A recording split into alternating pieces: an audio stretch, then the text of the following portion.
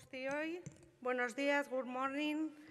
Ezer baino lehen, mila esker eh, etorkizuna kongresu honetara ba, zaretela. Good morning to everybody that's decided to come to this event, the Etorkizuna Eraikiz, and for having decided to choose our panel. I'm sure that you won't regret that because it's going to be really interesting. The next minutes, we're going to be talking about the future, but also, and above all, about the transition. And with your permission, before dealing with these subjects, I would like to just uh, take a look backwards and look to five years back, because that was when we decided to set up the Etorkizuna Eraikiz project. At that time, it was just a very pleasant dream. But with this project, what we were aiming to do was to design our future. We wanted to uh, detect what challenges were out there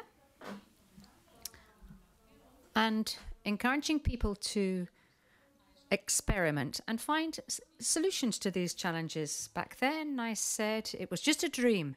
But five years have gone past since then. And so, what we're going to be telling you about today here are the results of that idea we had uh, five years ago, at least part of them. So,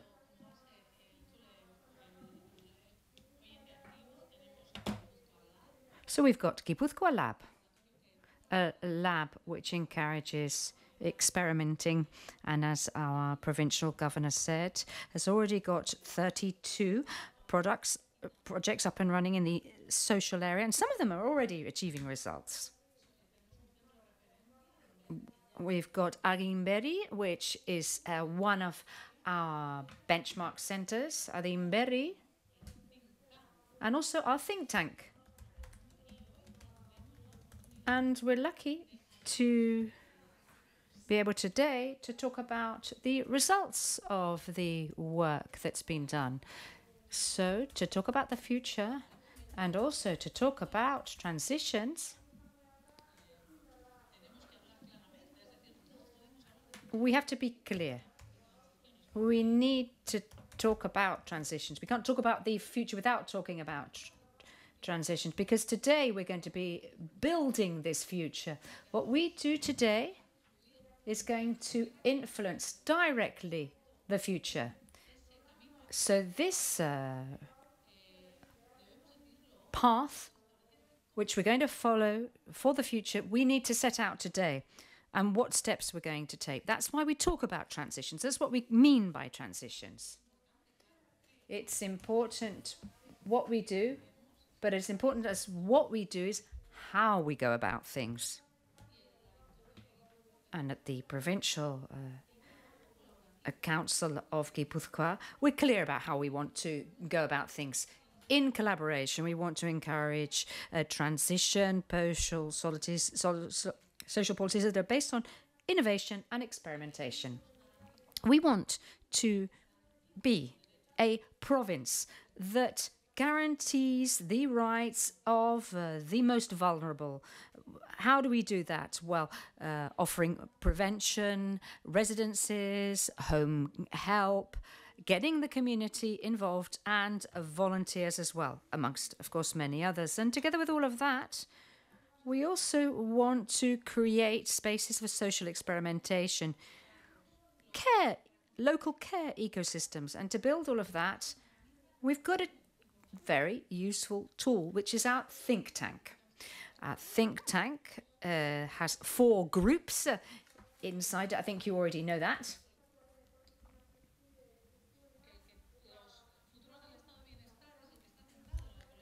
And the futures of well, the futures of the welfare state is the one that's concerned about social policies. And tomorrow, between today and tomorrow, we'll be hearing about what the think tank says in this regard.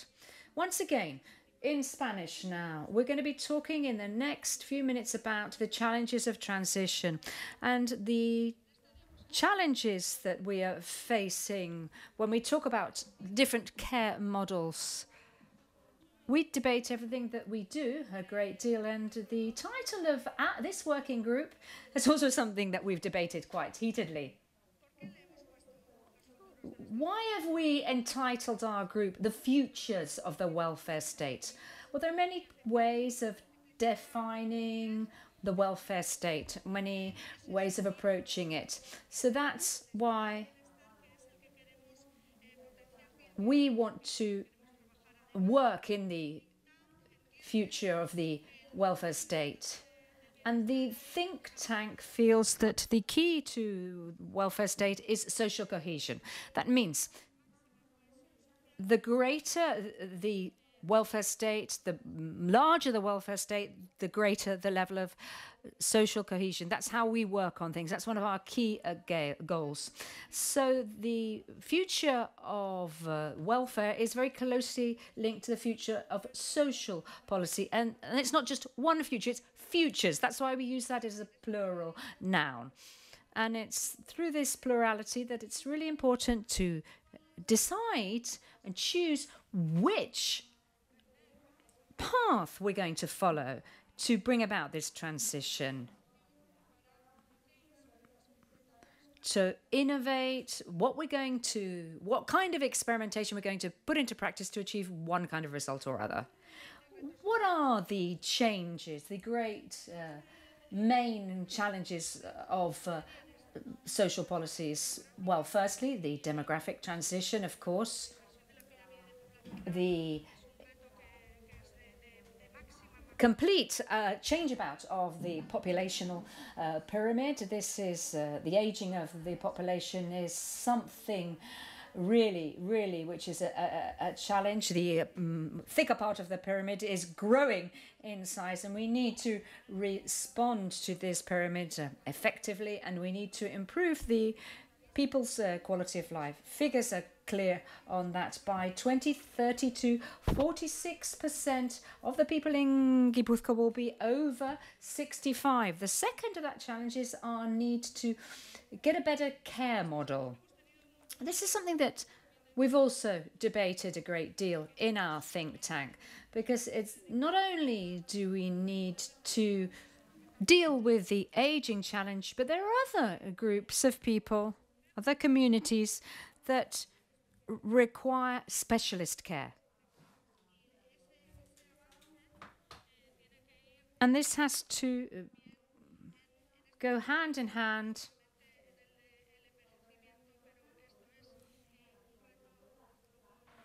with what we offer to uh, the demographic uh, group, but also there are other groups as well. So it's something that affects everybody. We need to get a more modern uh, care model. We'll be talking about that. And the third of our challenges, and sometimes it's difficult to talk about, it's like the elephant right in the middle of the room, which is the sustainability of social services. Society is changing. There's uh, far more needs. The funding of uh, social services is uh, increasing, or we need it to increase. And we need to transit towards a care model that is uh, far more personalized. And if we do that, it's probably not going to be uh, cheaper. We need to remember that. And we also need to see how demographic pressure how are we going to if there's so much demographic pressure reach the uh, a balance that we need financial balance so those are the challenges that we set out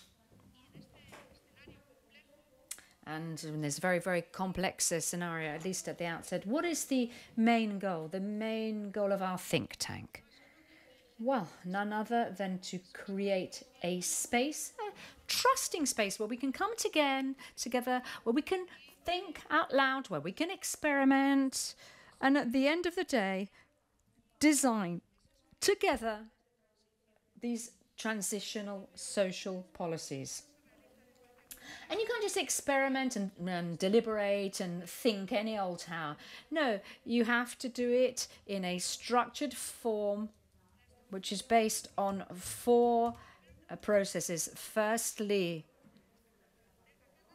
a shared structuring of problems. First of all, we need to know what the problems are. We have to agree upon uh, those problems. A design of future and change scenario, experimenting and innovation as mechanisms to make progress, and policy design for this transition. What is the path that we're going to choose to actually achieve this goal of a change in our care model. That's actually the ultimate uh, goal of the think tank a safe place uh, where people can uh, trust each other, they can cooperate and coordinate to design uh, transition social policies. So, just briefly now, we're going to be talking about the methodology that we use in our think tank. I'm not going to explain the whole of the methodology, but I'm going to talk about four keys to this process. The think tank uh, has 28 people uh, as its members. They're people that are experts in social policy or people that are in charge of social policy or uh, resource managers. We've carried, we've held 12 sessions, and during those 12 sessions, we've set out our challenges for a new uh, care model. We've actually classified these challenges as well, and we've debated what policy options are there. And as you can imagine, debates have been very, very intense, shall we say. Um, we've prepared a series of recommendations that have emerged from these debates. The next step is going to design these transitional social policies. So we've prepared our challenges. We know what the challenge is there. And to deal with these challenges, we prepared a, a formula to look about how these challenges are going to be uh, dealt with. And then uh, processes have been drawn from them. Of these processes, we'll, we've drawn two uh, products. One is the white paper of social policy in Guipúzcoa. I'll be talking about that later on in my next talk. And also a manual for personalizing care, and um, uh, Belén Larrion will be talking about that. We've also created a further 12 uh, working documents within our think tank. It's really important also to see the policies that we're working on, who are they aimed at? For example, people mm, that are dependent, the fragile, the vulnerable, those that are socially excluded, women who are victims of male violence, and their children, and also uh, children who are at risk, and without forgetting those people that are members of the disabled uh, community. It's important to know what social groups our social policies are aimed at. So that we know what the best model, what the what new model can be aimed at these groups. At the end of today's session, Carlos Alfonso will talk about social policies for transition in Guipúzcoa Here are the main results that we've obtained. He'll be talking about that, them as well, and they're a result of a great deal of work. Those are the ones that we've got so far. Firstly, the white paper entitled Guipúzcoa 2030, the future of care in social policy. I'm not going to talk about it because we will be talking about it later. But what this white paper is is something that aims to contribute to uh, these uh, social policies, transitional social policies. They talk about the challenges of social service systems, and these challenges have been uh, decided upon in collaborative fashion. And they also drop a whole series of recommendations which will facilitate transition to a new care model for Guipúzcoa. I think this is uh, something very, very specific, of course. And then this manual for personalizing social services in Guipúzcoa. It aims to contribute to develop organizational formula which make these uh, transition processes of social services possible here in this province and a more uh, tailored um, model. This is something that we hadn't originally thought of as part of our think tank, but we've seen that there is this need to look closer in this area of tailoring. In fact, a specific working group has uh, been set up to work in depth on the idea of personalizing or tailoring these care services they've given us ideas about how we can get down to grassroots, use organizational formula, and transit towards this new care model at the way at the same time as facing up to the challenges that are uh, highlighted by the white paper. So now we've defined our challenges. And next, Carlos Alfonso will give us the context of this work. And then Belén Larrion will give us the manual, talk to us about the manual. And then Javier Castro at the end will talk to us about future projects and we'll look more at experimenting and assessing. And at the end of this morning, there'll be a short time so that we can debate about these issues and put out some uh, conclusions. Assessment is a, a really important tool for us. Of course it is. I'll leave it there. This is the first part of what I had to say, and I'm going to hand the floor over to Carlos Alfonso. Thank you very much.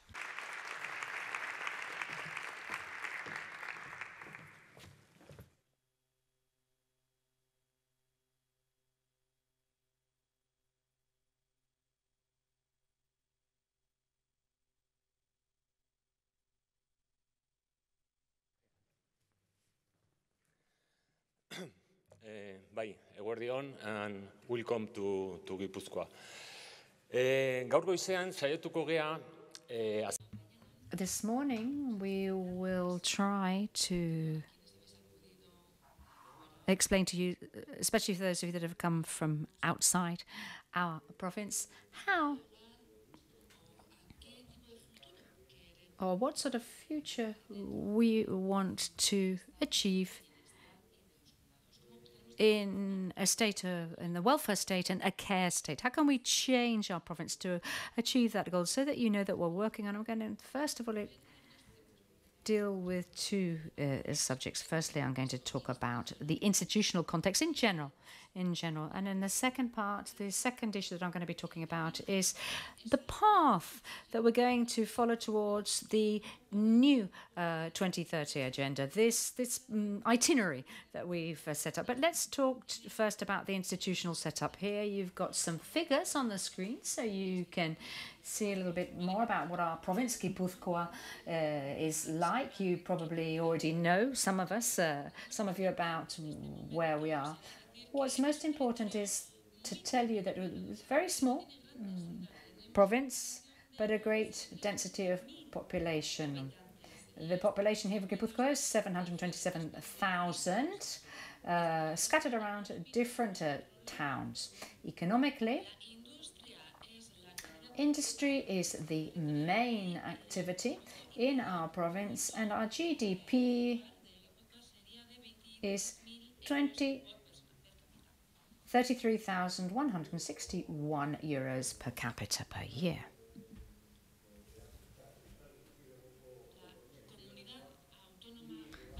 The Basque Autonomous Region is divided up into three provinces. Álava, Gipuzkoa and Bizkaia. These three provinces uh, share the same language and the same culture. And we're very, very proud of that fact. And thanks to the provincial setup that exists, the provincial governments have powers over each province. And then there are different administrative and government institutions that can implement that. We've got the legislature and also the executive power. That's thanks to the uh, rights that we have here. So the provincial government has a series of powers. It covers a series of remit. We can say that in the Basque Country, in comparison to other provinces around and regions around Spain, we have more power. I'm going to give you some information now about social services. Eh, in Spain, social services are decentralized. We have 17 autonomous communities or regions, and they have their own social services law. If we go back now to the Basque Autonomous Region, we have a specific laws which says that city councils are the ones to manage primary care services, and the provincial council as well we all need to go to the city council if we want to benefit to these different services and uh, let me now explain which is the institutional context so that you can understand and so that you can know about the organization within this social department. The social department in Guipúzcoa 450,000 euros that is the budget half of the total budget of the provincial council. Social services department attends to 29,000 uh, people per year, people having different needs, which represents 4% of the population. On the other hand, in the different centers that we have in the province in Guipúzcoa, 11,000 of them belong to the Diputación, to the Provincial Council, and you know half of them are for the dependent elderly. Then there are two specificities, and on the one hand, on the one hand, we have a level of concentration which is quite important in terms of population, and on the other hand, third sector social institutions or entities are managed through the Provincial Council. So I hope that now you have an idea about our context, and I hope that now you know a bit more about our territory and how it works. And now let me tell you about the pathway defined that we have been defining so that you can know which have been the steps made and so that you can also know about the background that we will be developing all through this morning. We could have started before, but I wanted to show you this pathway tragic with many different bends and turns, but full of challenges and opportunities as well. And I have identified 10 milestones. There are more, but I have selected 10 so that you can know the different stages and the different steps that we have been making in this territory, in the province of Guipúzcoa. I hope that you won't get lost. First milestone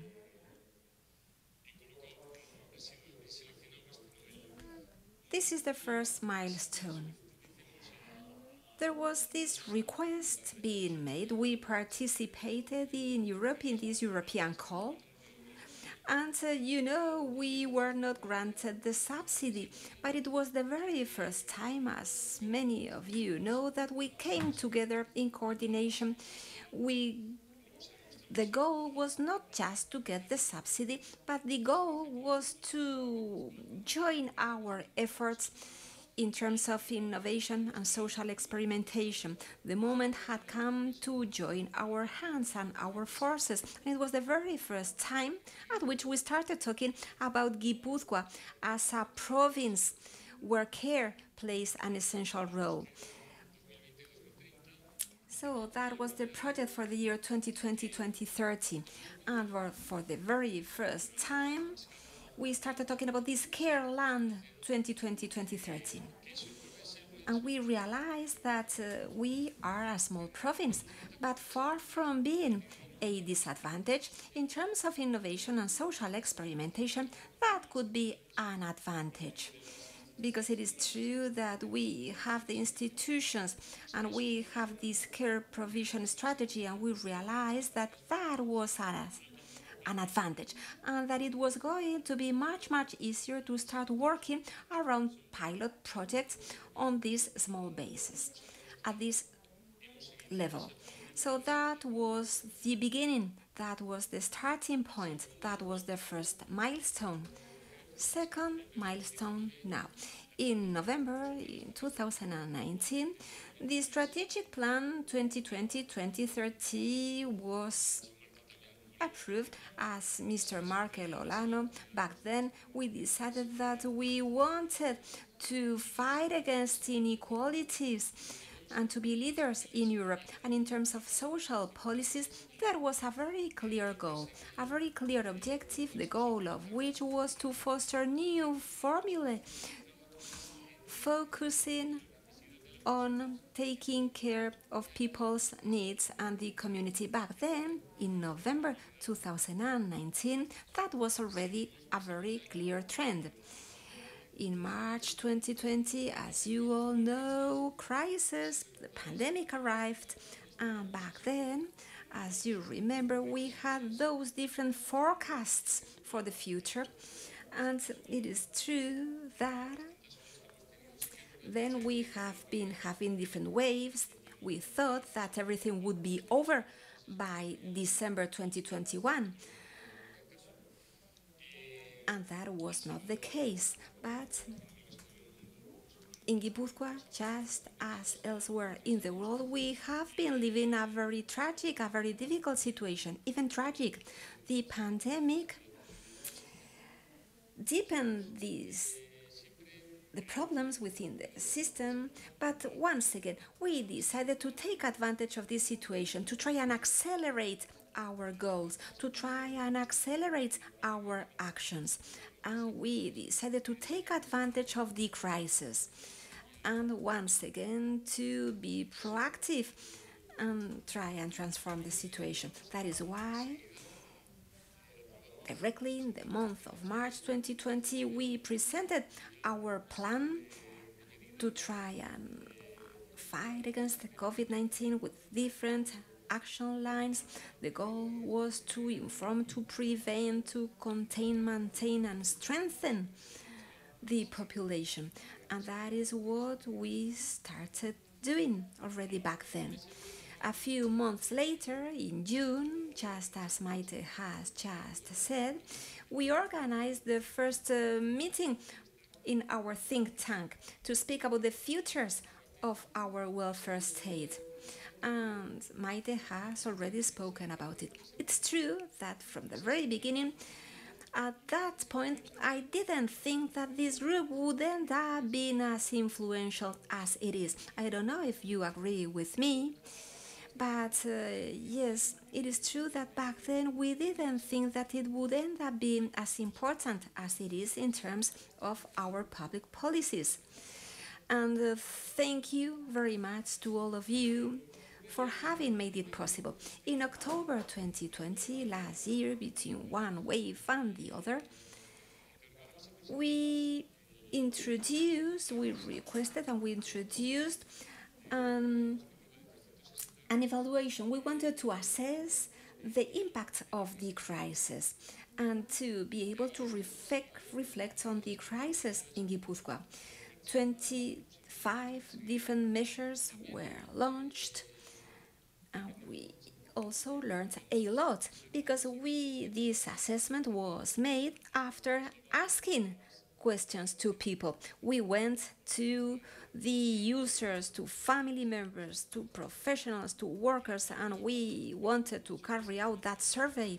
We learned a lot. If we had to sum up all the different lessons,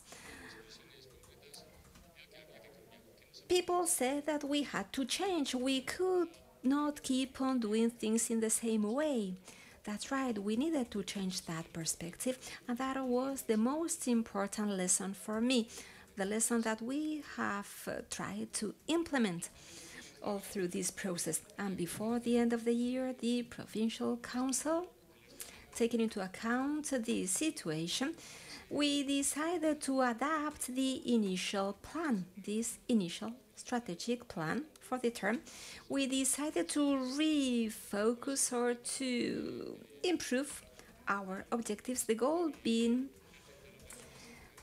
fighting against pandemic without leaving anybody out, anybody behind. And we reached 2021, and in the month of March,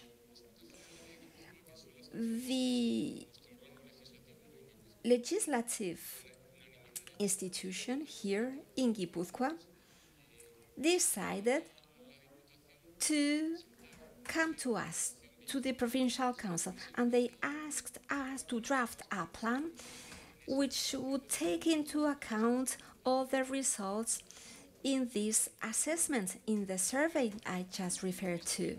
And that is what we did. This plan is part of the Agenda 2030, which is the last milestone that I will be telling you about later. October 2021. As Cynthia said before, within the recovery and re resilience plan, we decided to sign a contract. 34 million euros were going to be given to us so as to be able to move forward within this transition going towards this new model of care.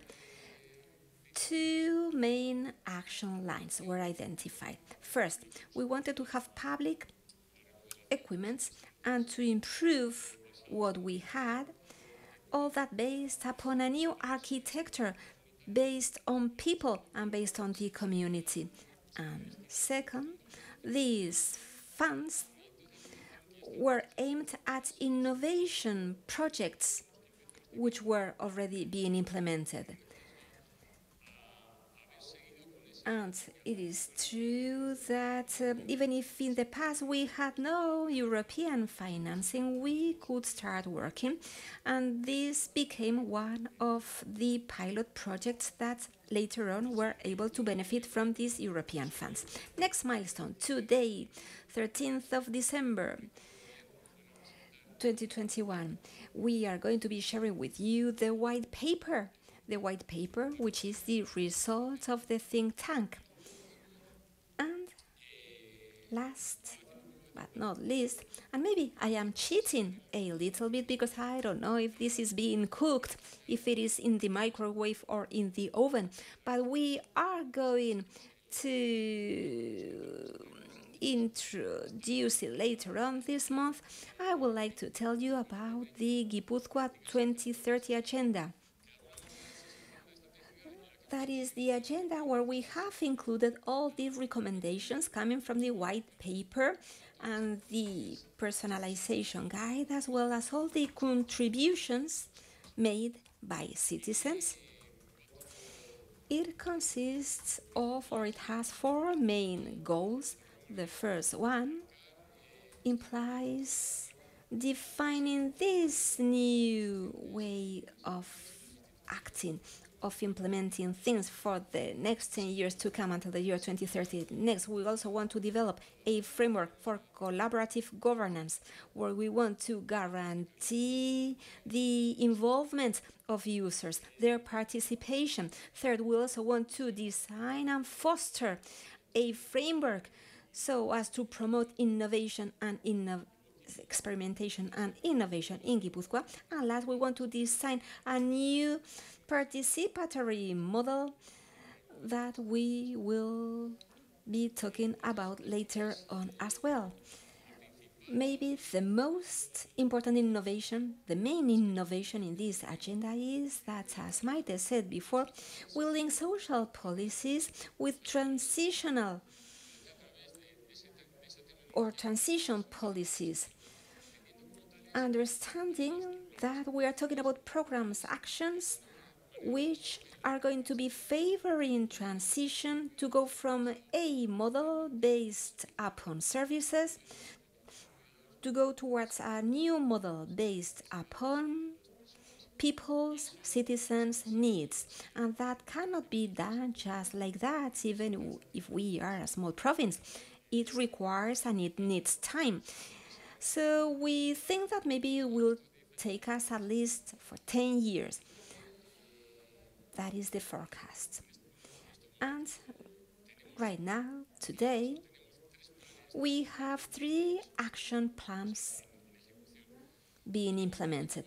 And we realized that maybe the traditional design model was not good any longer and that we had to be innovative because we had a strategic plan from the provincial council then the covid plan with its measures then the strategy the innovation Ikerland strategy and once again we realized that right now at this moment there are three dimensions in social policies.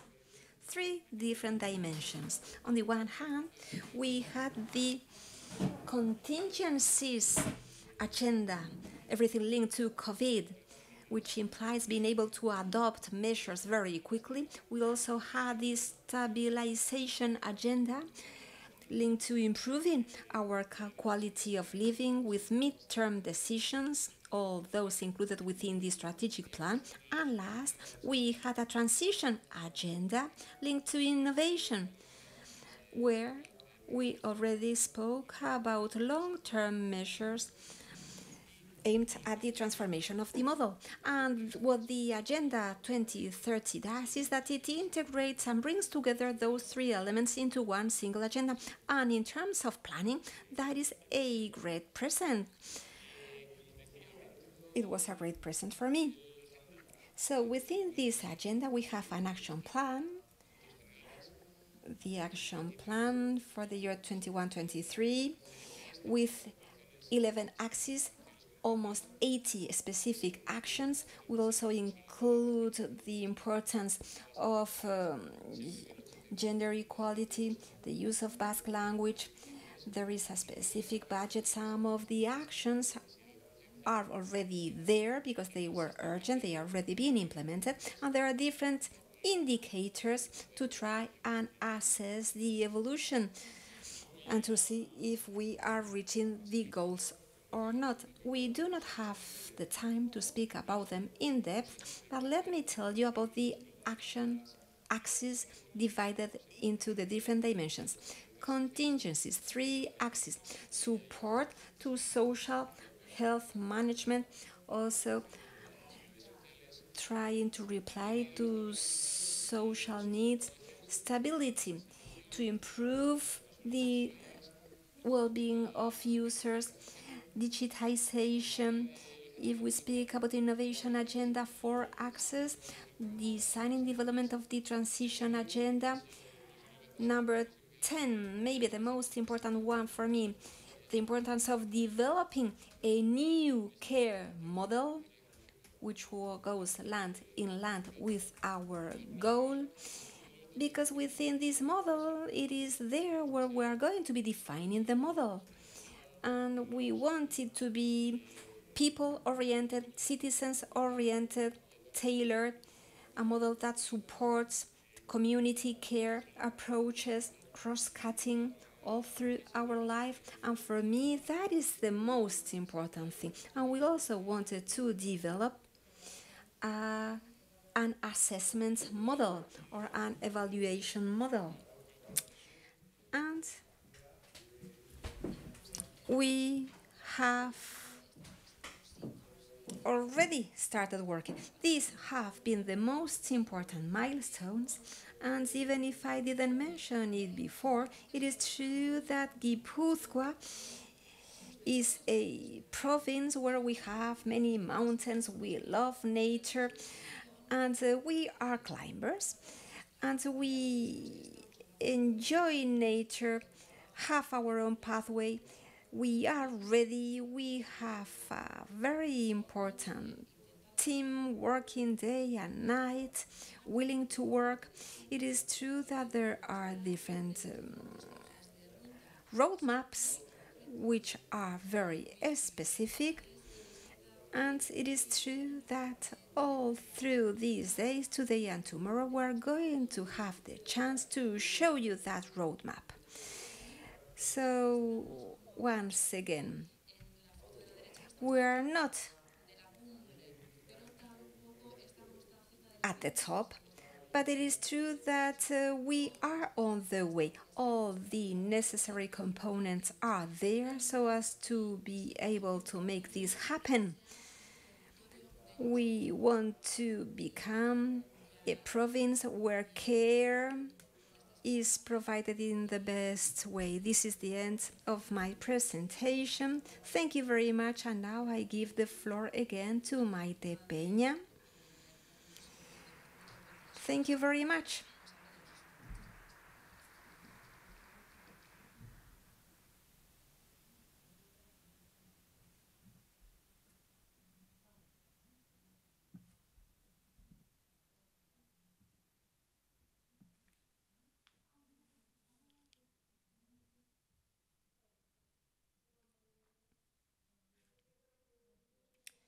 Good morning again.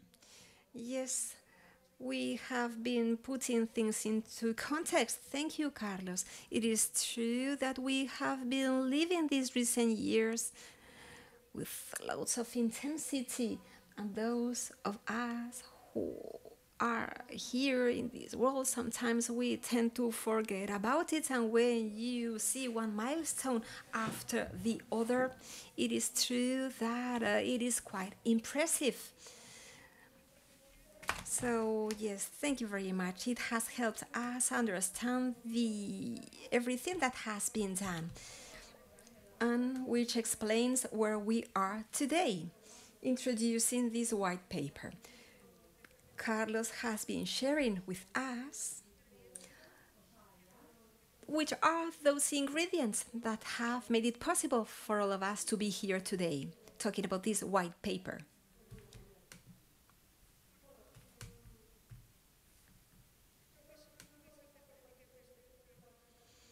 She continues into Basque. White paper establishes the context for social policies in the future and it offers us, it gives us the tools, the tools so as to be able to move forward and reach that new care model. It is essential to try and build a society based upon solidarity, shared values, the individual and intergenerational engagement, and the will to reach the common welfare. The contents of the white paper. First of all, I would like to say thank you to all the members of the think tank and all the members, all the people who, in one way or another, have made it possible, have made it possible for us to have these documents in the think tank. I will be telling you about them later on. But I would also like to say thank you to all the experts who are here with us today. Thank you very much. Thank you for having shared with us your time. Thank you for your contributions. Thank you for your contributions that have been essential, a cornerstone. And once again, essential to be able to develop this white paper.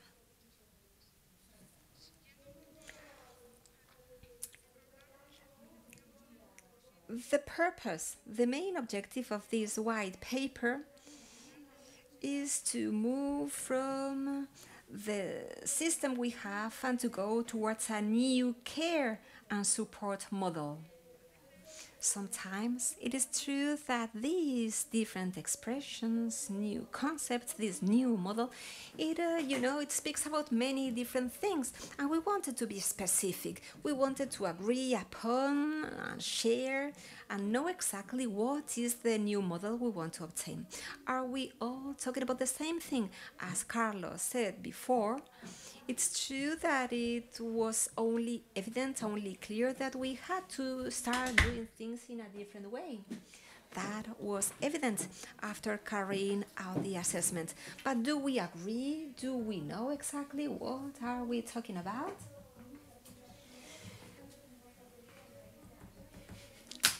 So we have been defining all those different elements which are essential in this model so that all of us can share and can know exactly what are we speaking about.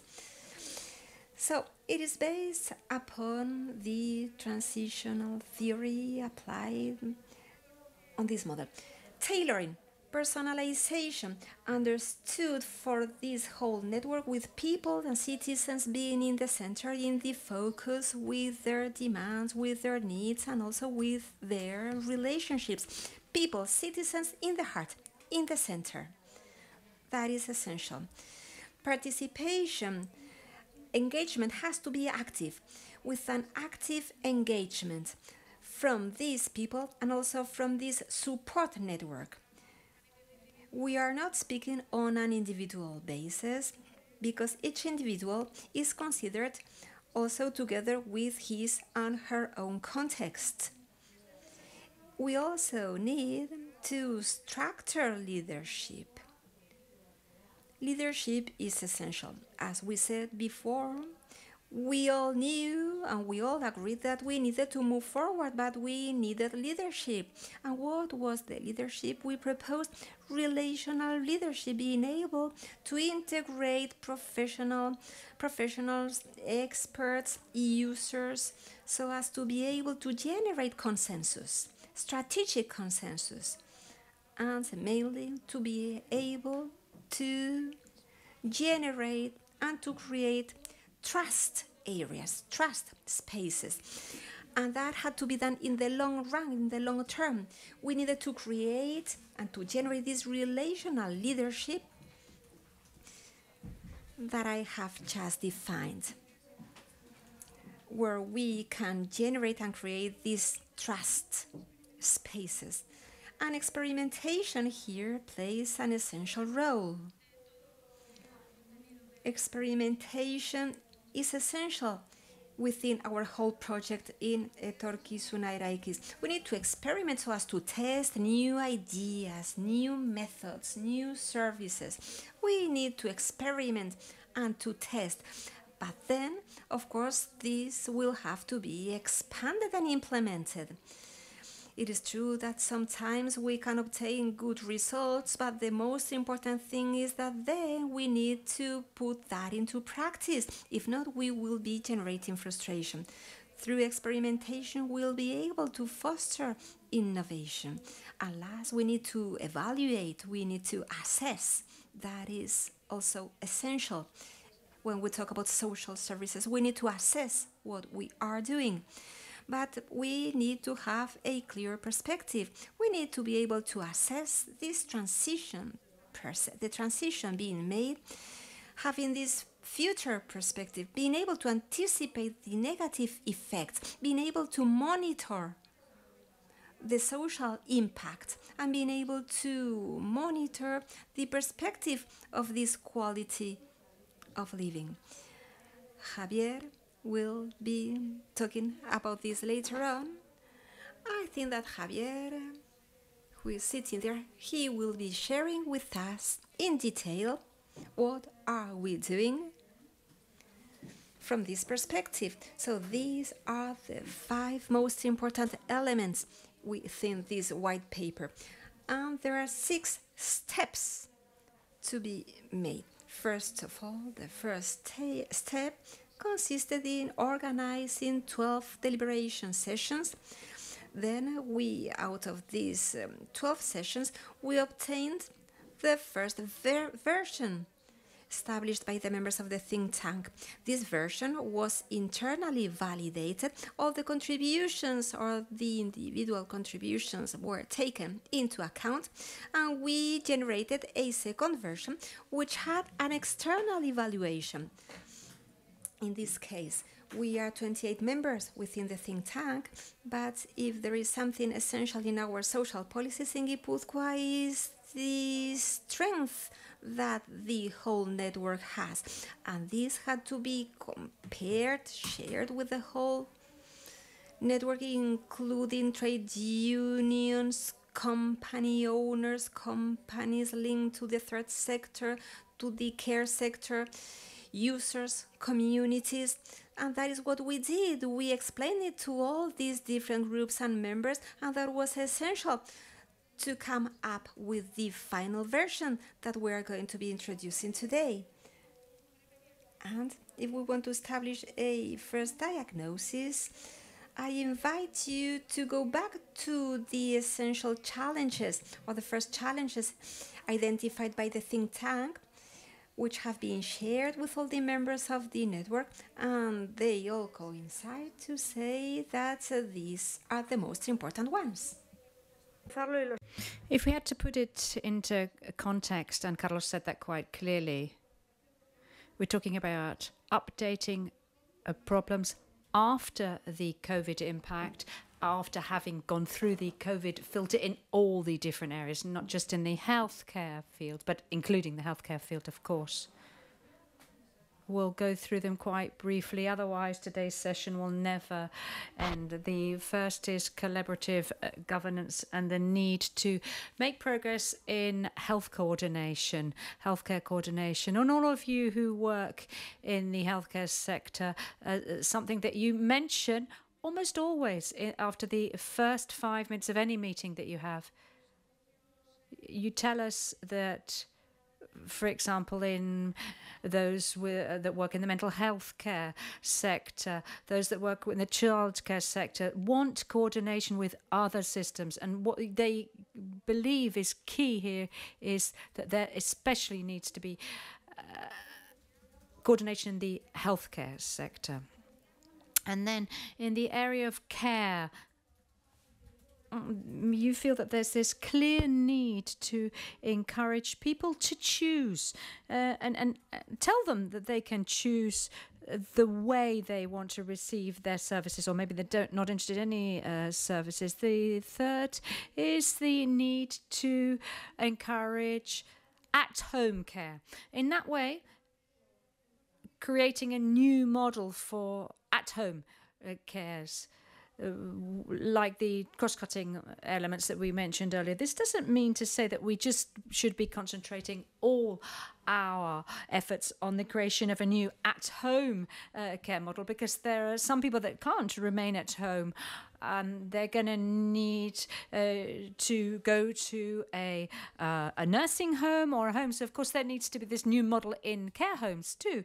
But of course it is true that it's been concluded that there is a challenge out there. One of the challenges is to strengthen at home care. Then experimentation as a way of supporting innovation. If something needs to be done, if something needs to be done differently, how do we go about it? How can we start experimenting so that innovation emerges and so that we can then upscale innovation policies? And something else that is uh, led to uh, a great deal of support, which is training. Training is a way of supporting this new model, looking into the um, skills um, and the number of people that work in this area. We want to care and we need people to be trained, educated in the way they care for others in a different way. This is something else. Of course, digital transformation, which is key both in social services and in the third sector. Cynthia spoke a little bit about this this morning. Sustainability. We shouldn't forget that all of this requires us to rethink and put onto the table the current funding means. And something which I sometimes repeat time and time again, and people call, accuse me of that, is assessment. We need to assess everything, everything that we do systematically, not just because it's an experimental pro uh, program. No, no, let's assess everything that we do from a uh, the the viewpoint of the impact and participation levels, for example. In the previous presentation that I made, I already highlighted what our target groups were, which our target groups were, of for the white uh, paper and the work that we're doing in the think tank. And th- those are the target groups. I'm not going to repeat them. But as I, as I said, there's a, a, risk that the think tank and that the white paper tend to uh, just concentrate on the elderly because they, of course, uh, pressurize the system. But I think actually what we've been successful about is that the goal, the ultimate target groups, are not just the elderly. Of course not all of these groups, all of the groups that you can see on the screen, are also part of our target groups. I think the white paper quite rightly deals uh, with the, all of these groups from a very broad perspective. Those are the challenges. Here are the recommendations. What are the 12 recommendations to uh, transit towards a new uh, care model in Gipuzkoa? This idea of support and care should no longer be support and care uh, and, and just uh, support. It should be something that is covered in all our areas. Firstly, the conceptual uh, focus needs to be defined. This is something that I mentioned earlier. What is our conceptual model? What is this operational model if we're going to transit to a different care model? What are we referring to when we talk about uh, lifelong care? As self-determination, determination, participation, uh, home care. What do we mean by that? And then, of course, care uh, personalization, care uh, customization is another important thing for our model. We shouldn't forget that customization will actually encourage uh, greater diversification. The third is uh, uh, regarding home care, a comprehensive model for home care, uh, encouraging pilot projects and also encouraging people to be able to stay at home and have this home care uh, system at all levels. And even though our priority is that care be at home, we shouldn't forget that there are many residences that look after many, many people in different fields. And here, we need to remember that progress needs to be made, of course. What should these uh, residences, these centres uh, have? What sort of characteristics should they have if they're going to offer this kind of care, this kind of support? What should they look like? So that the people that are in specialist residential care uh, receive uh, the right quality care that they're entitled to that's why social innovation, technological innovation is key. Also within institutions, if we're going to head for a new model change. As I said earlier, we shouldn't lose sight of the ultimate goal of deinstitutionalization, which is getting people out of residential care. Moving on now. There's the recommendation of local care ecosystems via collaborative uh, governance and in connection with uh, social services, health services, uh, community services, and uh, offering uh, proximity care, and so that there's greater local and community uh, engagement. Digital transformation of social services is a, and the third sector is another recommendation, as is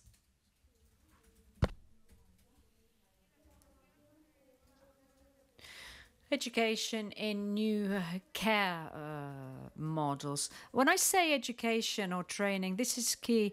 That is, what sort of uh, education or training should those that work in care have so that they can offer new these new care models they also need of course technological training and they also need to be able to manage local eco uh, systems, these care ecosystems. It's a paradigm shift, a complete paradigm shift. And finally, or eighth, sorry, the improvement of working condition of uh, these carers and an improvement in these quality ratios. A lot has been said in Gipuzkoa recently in about the uh, working conditions of those that work in care homes, but we're not just referring to that.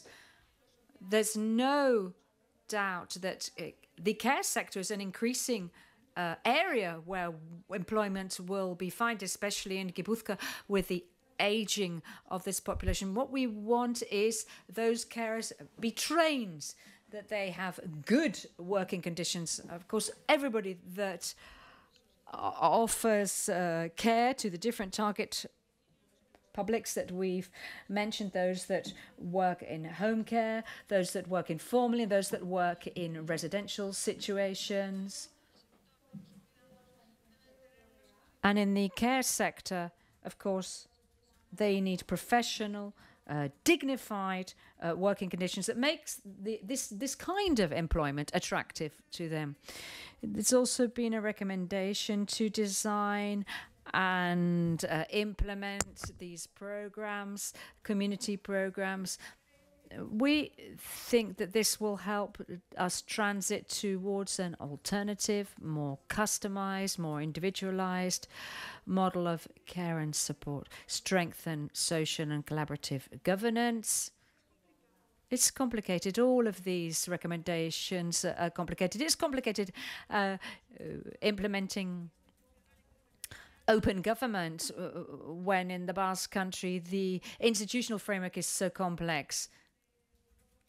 And that requires collaborative and social governance, a kind of uh, governance which is developed upon uh, resource provisions, leadership, and these what we call reflection flora or deliberation flora.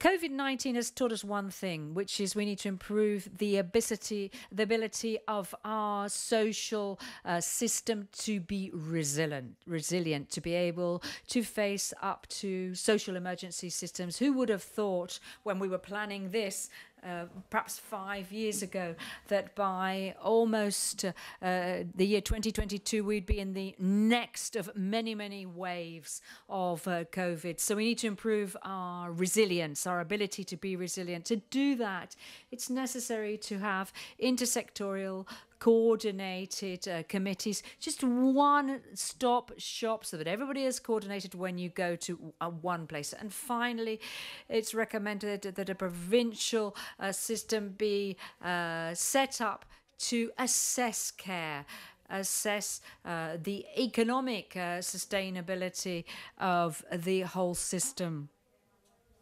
using an indicator based system. So that's in summary, in short the work that the think tanks have been on, as it were, and that it, it can just be boiled down into these 12 recommendations. But what about now? What's happening now? We've got our recommendations. Now, what we have to do is to integrate all these recommendations to face up to the challenges inside our social policy. As Carlos said, all of this work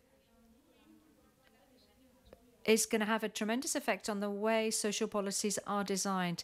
In fact, far more than you might think originally. And in this slide, you can see how we've made the connection, and you can see the overlap between the white paper and our 2030 Gipuzkoa agenda.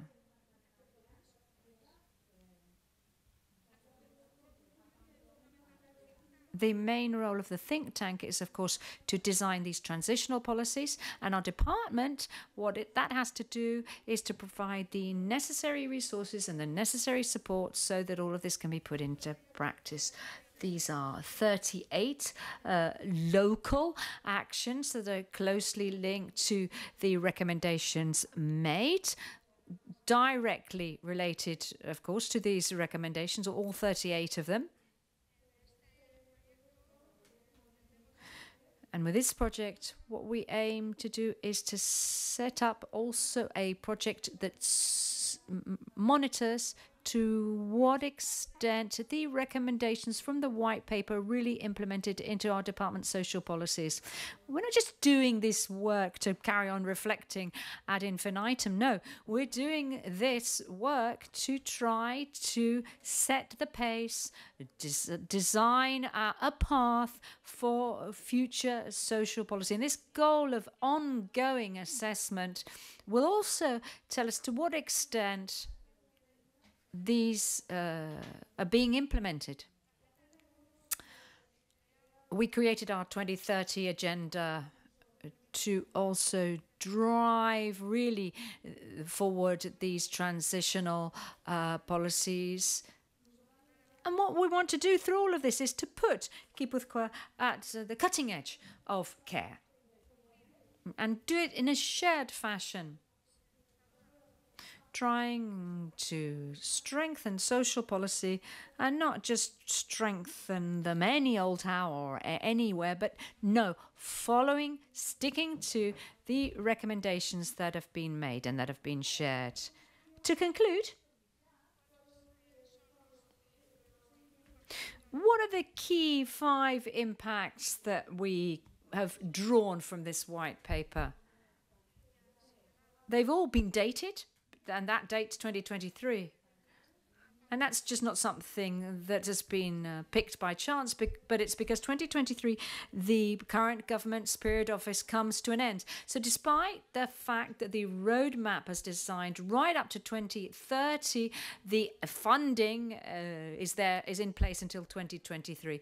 The first impact is to have driven forward this idea of personalization of care via setting up this manual for customization, both at home and both in residential care, based on itineraries uh, according to mm, profiles, plans, and uh, strengthening the digitization and monitoring of personalized care processes. Impact two is having strengthened the development of local care ecosystems.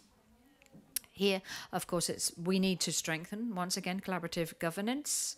We should uh, drive forward personalized care itinerary. Uh, there needs to be a management of cases, and of course, systemic assessment, systemic evaluation of the impact of this improvement on quality of life.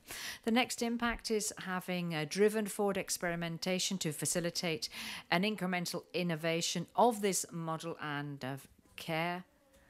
The development of experimental projects is something of course, that we've been testing and doing for years to test ideas, products, and key services to uh, move forward in this transition towards th- uh, this new care model. What we want is social participation and as uh, evaluation. Quite clearly, we need to experiment. We need to innovate. The resources that uh, are attached to current regulations. We need to go beyond them and we need to take a giant step forward, a giant leap forward, do it safely, do it surely. That's what we're trying to do.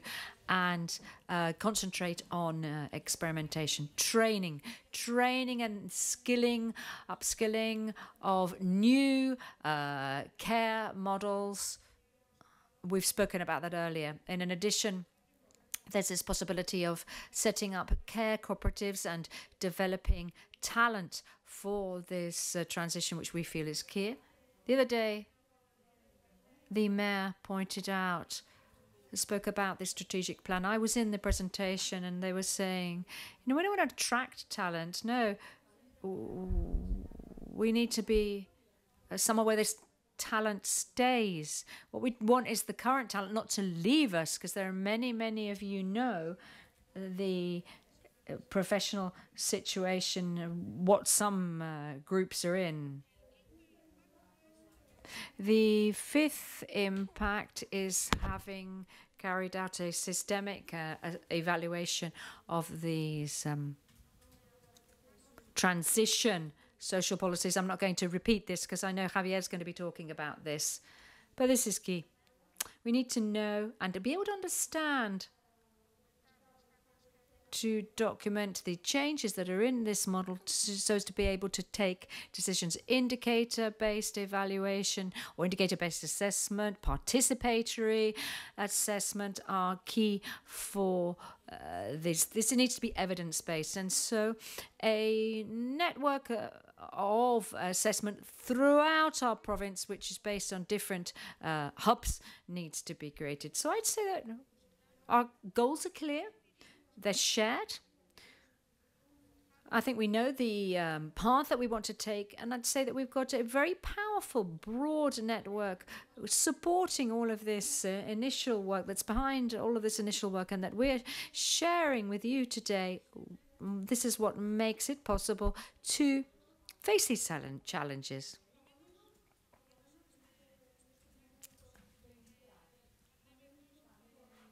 And at least, even within this time of a pandemic, with a great deal of optimism, Carlos is far more poetic than I am. For me, what's really, really important is to know where we're heading the speed at which you travel down the path that we've set ourselves you uh, but and you've got to get through different stages and sometimes it's very encouraging when you get through different stages but at least if you know which path to follow if you know who are your allies on this path everything looks far more optimistic and everything is stronger. On the Eraikiz website, just to close, you can find our white paper. You can download it. This is uh, uh, the official presentation from now onwards. Today onwards, it's um, public. It's a tough road ahead, a very steep road ahead as well. But it's a very hopeful road ahead. And we're going to have a good company along the way. So thank you. That's all I wanted to say.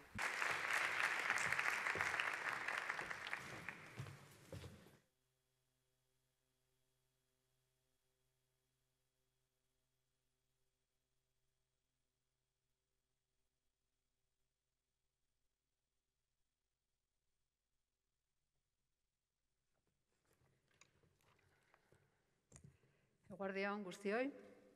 Morning, everybody.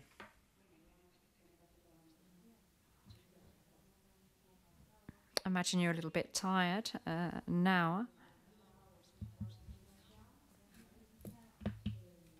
Hortarako presentatu, bueno, aurkeztu, aurkeztuko dizuetola aurkezpen honekin batez eh, lerro nagusi. I'd like to introduce you now to the main lines of our manual. There it's over a hundred pages long, the manual. And it's not just a manual, but rather key, a key document. I'm out to explain this to you, and I'm going to start my uh, presentation firstly. Firstly, we asked a question, which was why? Why do we need a manual for um, customization. Has already spoken a little bit about this. Well, it's because we realized that customization is something that comes up time and time again in what our group uh, had been reflecting on. That made us think, and we took the decision to take uh, this route, to start preparing a manual. Also, and as far as the white paper goes, we realized that we needed to highlight this.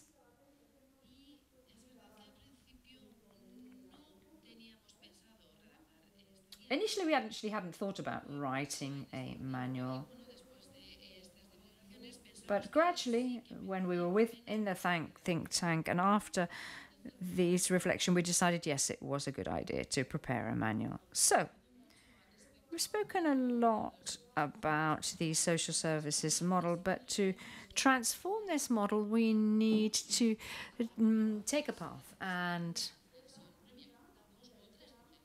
before we get on the this road, this path, we need to think.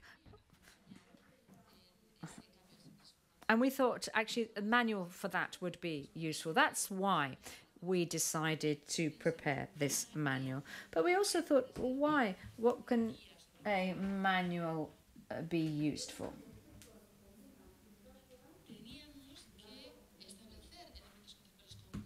We needed first to set out a series of common concepts. That was one of our goals. A little later on, I'll explain how we went about that.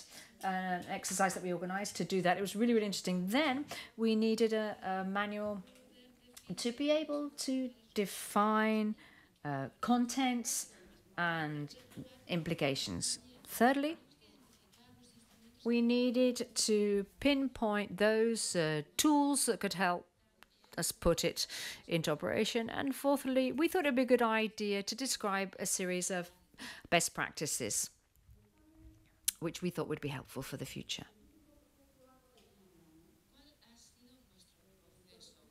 How did we go about that? How did we write?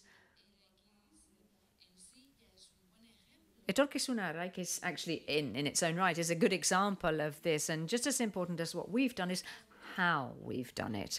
What procedure did we follow to write this manual? By the way, all of this has been the result of teamwork. There are around 10 uh, representatives working in the field of social services in Gipuzkoa and that work on these in these think tanks uh, on the future of welfare, and all of them were in this uh, team effort. So, who were those people? There, you've got the name of the different. Uh, organizations, but I'd like to give the names of the people that are behind them, the behind these organizations. Bacarne Echeverria, Inigo Cortavitate, Javi Chancho, Javi Castro Spida, Josu Cabo, Ma Manu Munoz, Miquel Corbanan, Penelope uh, Castajon, and Tony Heredia. Thanks to all of you. Thanks to all of you. It's been an enormous pleasure having worked with you, and I really do ho hope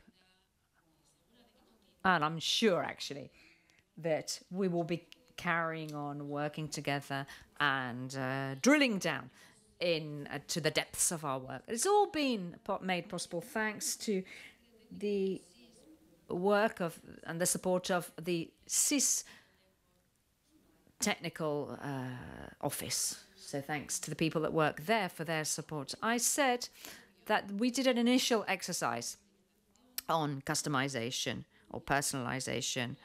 And this was an exercise which required us to think about customization. What actually is customization for us? It's not an easy thing to think about. And here you can see on the screen 10 indicators which we considered when preparing our customization guide. And then we decided what what customization was and what it wasn't. So you need to know what it is and what it isn't. These uh, give you an idea of the different areas that we've focused on, what's up on the screen, including how we set up a assistance plan, how do you go through all that process, how you uh, work with integrity, how you define professionals, and of course, um, any prospection that needs to be carried out, research that needs to be carried out. There are four main sections to our manual.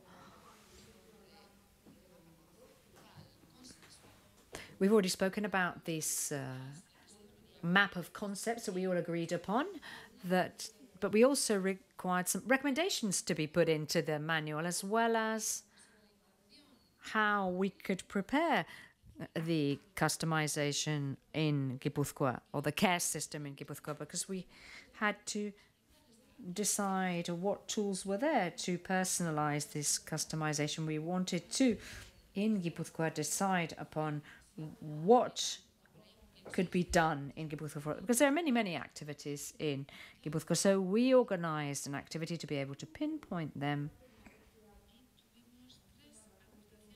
And we received three main contributions, and I'd like to highlight them.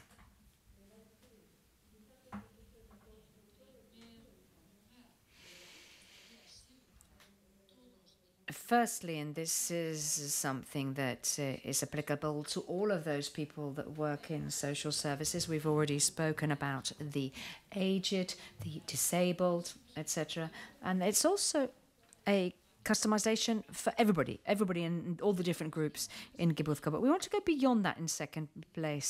It's not just uh, direct primary care, it's a beyond that, there's a, there's a major, major challenge which has three sides to it. Both macro and micro sides to it, which need to take into considering the different uh, paradigms and viewpoints that are all uh, contained under the same umbrella. And thirdly, in this uh, road towards customization, we had to take into account different proposals different proposals linked to the white paper and the Agenda 2030. Hemos pensado, nos ha parecido que eran. So, this is our guide. Customization is essential in social services in Gipuzkoa we have identified 10 models that we have taken into account. 10 models or 10 references, which are benchmarks in social services. And they come from the world of gerontology, of aged people, disabilities. They are the ones who have been studied these issues more in more depth. So the model of independent living and planning focusing on people, the model of quality of living and the care model, as well as the gerontologic care, are the models that have been most widely developed. We have also looked at Anglo Saxon models such as direct pay and individual budgets and other models that we are already implementing in Gipuzkoa in terms of care given to social exclusion, such as models aimed at reducing damages and support. Child care and adolescent care. In this sense, of course, I would like to speak about the superior interest of minors and the theory of link and attachment to try and develop and implement better services, customized services. We are also working in terms of transition towards adulthood, and that is what has been reflected also in the guide. On the other hand, we have also taken into account the organizational dimensions that we need to bear in mind when thinking in terms of customizing social services. As said before, this only this does not only imply changes at the micro level, but also the meso and the macro level. The organization by and large in the whole system needs to bear in mind this customization. If that is not the case, we will have a negative effect. We have also highlighted nine different aspects which should be borne in mind. As you can see, the services catalog, which is wide enough and diverse enough so as to be able to give the possibility of choice and being able to guarantee the continuity of care, always taking into account the evolution in terms of needs, the evolution in this person, how are their needs going to evolve? Second, customization also requires the professionalization approach. And in this sense, different issues have to be tackled. On the guide, you will be able to read about it in much more depth.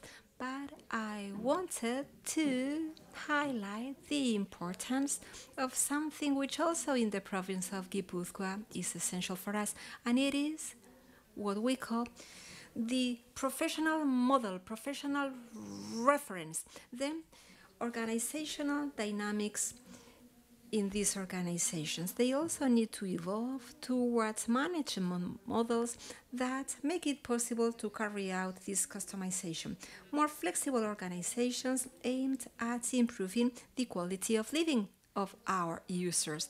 We also want to highlight the physical, environmental, and architectonic design of the premises. And something essential here is the concept of desinstitutionalization, understood not as taking people out from institutions, but understood from the individualization of spaces. We need to help people to recover the control over their lives, to feel included within the society where they are. Fifth, we cannot forget regulations. We from public institutions, regulations that rule how the services operate. It also implies focusing on people living in these premises, these centers, and their characteristics. Like this, we will have a balance that will bear in mind common rights, individual rights, walking hand in hand with them and making people in the community where they live being co-responsible. Maybe social exclusion, this field, with criteria such as non-expulsion as something basic, is one of the areas where these changes are taking place. Deep changes. Sixth, individual planning and intervention and daily activities daily activities and interventions, which are essential when we talk about customization. Mimetic and automatized activities will not be generating the motivation we need. Activities need to have four essential characteristics in terms of customization. They need to be significant for those people, empowering, inclusive and based on daily activities for those people. Seven, participation, engagement, involvement of users, and also the involvement of the family members is essential too. Engagement in terms of being able to define their different plans involvement in the decision making process concerning programs where they participate. And all this goes against the organizational dimension. We cannot lose sight of the fact that when we are talking about engagement and participation, we are talking about sharing power, yielding, giving power away. Power is something that makes us feel uh, sure, secure, as if we are in power. When we talk about participation, we need to share power. That is essential too. Community resources and inclusion within community. We are talking about the use of community resources, not segregated along the lines of disinstitutionalization that I referred to before. Let's go to the community. Let's go out. We live in a society, we live within a community. And last, communication tools understood as guaranteeing, being able to guarantee access to information and transparency on organizations. But it has to be real and not just aesthetic de facto. We also analyze the limits and the obstacles to overcome when designing this customization process. We need to identify the limits, the limitations that we will find. That was also an exercise that we had to carry out. We identified limits in organizations the goal of flexibility and adaptation to individual needs need to make this compatible to the organization. We need balance there. Economic limitations or limits, just as Maite was telling us about when talking about sustainability. That is essential when we talk about economic resources and how to use them well.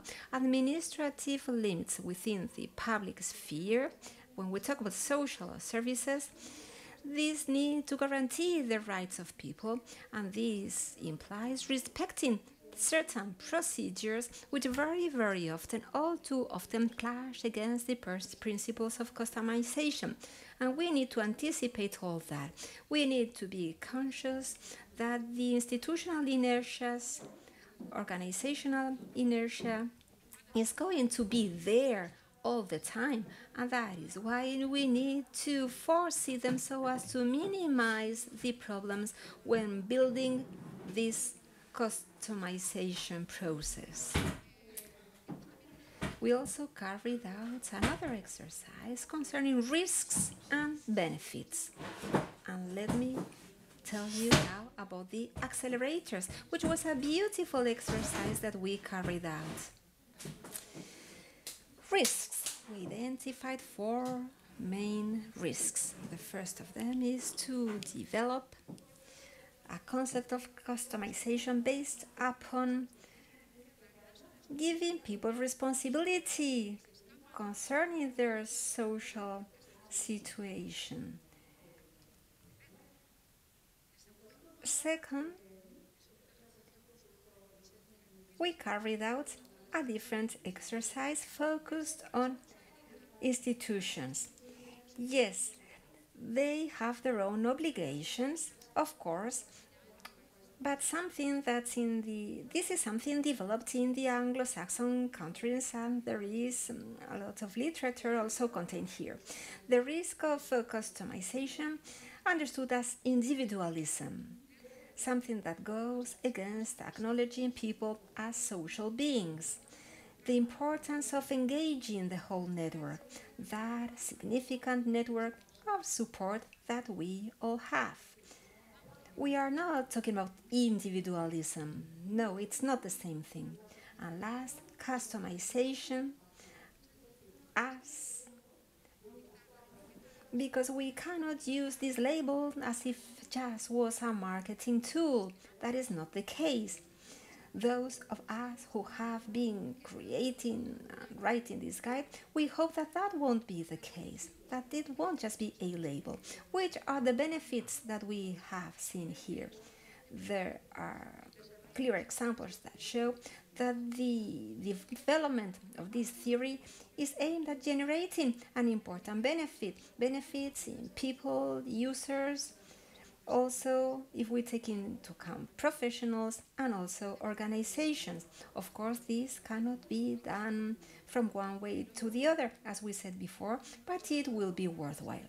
We also want to highlight that customization is something essential in ethical terms. As Marije Goikoetxea says, the ethic perspective asks from people to make decisions and to carry out different actions so as to generate the highest possible benefit. Within this framework, dignity is the essential ethical category. The maximum benefit of customization implies the empowerment of people becoming an essential part in terms of the decision making process.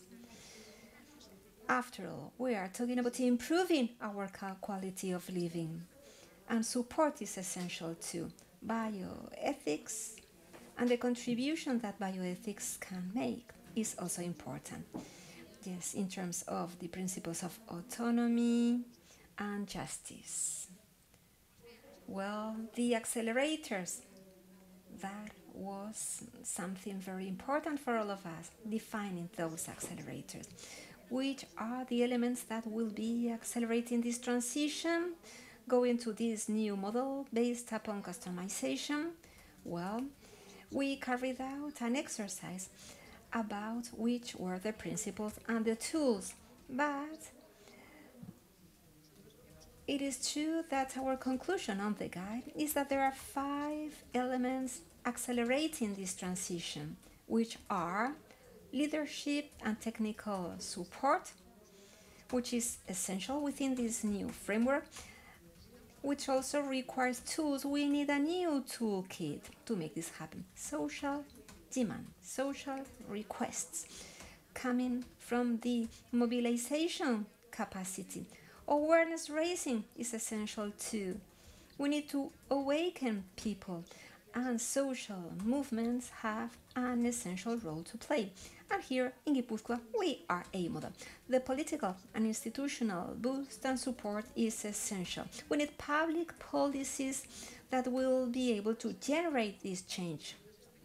Experimental projects also to promote the use of uh, scientific evidence, giving legitimacy to what we do. Fourth, professional engagement.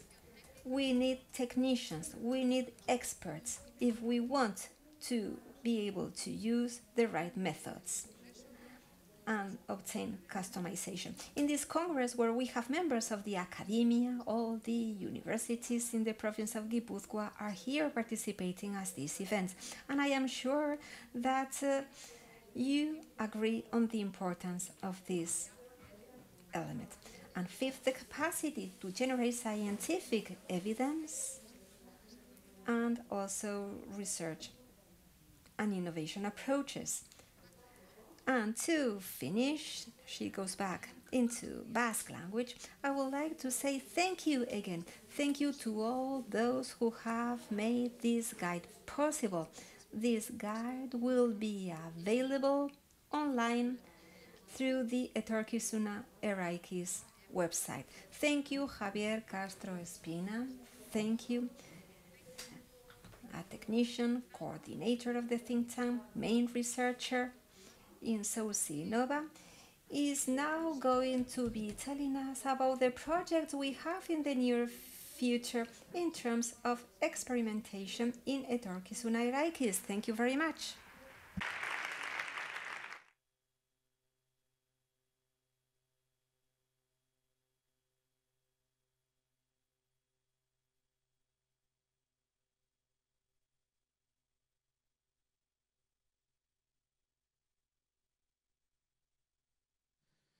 Bueno, muchas gracias. Eh, Good morning. I would like to start by thanking the International Committee here with all of us. In this debate about transitional social policies, and when we speak about customization and the transitions agenda, this is closely linked to the think tank, and that is why for me it is very important later on to know about your comments. What I am going to be introducing is very little, just uh, three images, and I would just like to tell you about our work within the think tank. How have we been working? First consideration, something interesting for us that we have been debating is the meaning, which is the approach that we want to give to this transitional social policies. We assume not a theory of change, but an approach focused on change. Just three main ideas. First of all, this implies a strategic level identifying the problem from a shared perspective, but also from a future perspective. The idea is not just to see which are the problems today, but to think also with that future perspective. Second element linked to this transitional theory is the tactical level, the creation of alliances, partnerships. As Carlos has just said, there are three levels in social policies. First, contingencies, emergencies, social emergencies. Second, those policies aimed at stabilizing the different services and linked to quality of living. And the third level has to do with innovation. Alliances, so as to reach this stability and for innovation, they are different. And this is very important because from the tactical point of view within this theory, the most important thing is being able to build a new alliances system. And that is essential, as I said, because within our policies, transitional policies in Guipúzcoa, these new alliances are being built with workers, with managers, and with users. That is a new way of constructing alliances. And it is very interesting to see how they get consolidated on the agenda, such as Carlos was telling us when talking about the Agenda 2030. All these different policies, budgets, actions, and impacts within the agenda. The third level is the operational one, which insists on how do we implement this whole process. And it is here where we mobilize the actors, we promote projects and promote experimentation. There is a very important shift going from innovation to experimentation. And this is also linked to the fact of including the ethical dimension. We cannot experiment without having an ethical an ethics code. This is very important. Social experimentation, is linked to ethics. Belen has already been speaking about it. We can speak about it later. Experimenting, experimentation, testing ideas, products, and processes at the micro and small level so as to expand it later on. And fourth, I would like to talk about the assessment, the evaluation. We need to assess not only to know where we are in terms of this transition, but also to try and identify learning processes. What are we learning? We learned a lot when we assessed the COVID 19. We learned a lot about how we have to think these new policies. COVID 19, as we Oh, all know, was not just an epidemic, the whole system changed. And this is the interpretation that we also have within the think tank. In the, same, in the first session, we evaluated and assessed the COVID and its implications. If you want, we can keep on talking about this, this theory, but this is the basic idea. And there are four principles. First, collaborative governance. Second, the design of policies, the transition agenda. Not only talking about social policies, but social policies promoting this transition in the model. And that is based upon experimentation as something basic for innovation. Because here the debate is always innovation is not just improving our quality of living. No, it is to promote a new model. Innovation that there are innovations aimed at improving, for example, our premises or our quality of living, but they do not lead to transition. So we establish this difference when we refer to innovations and then assessment. Once again, we need to assess and evaluate.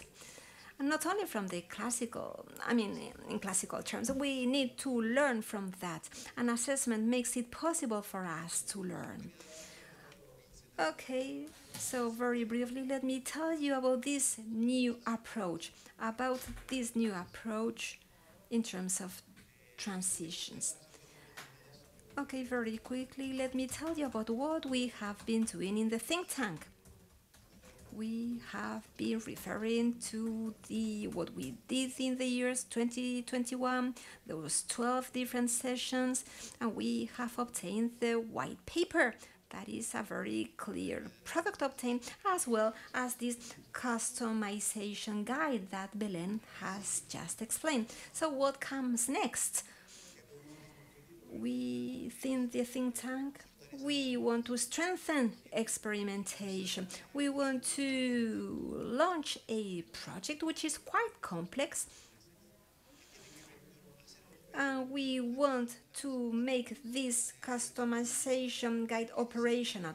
Belen has been telling us about it. So now within the think tank, we want to implement all that and to have experimental projects so as to start creating and generating evidences based upon customization in social services.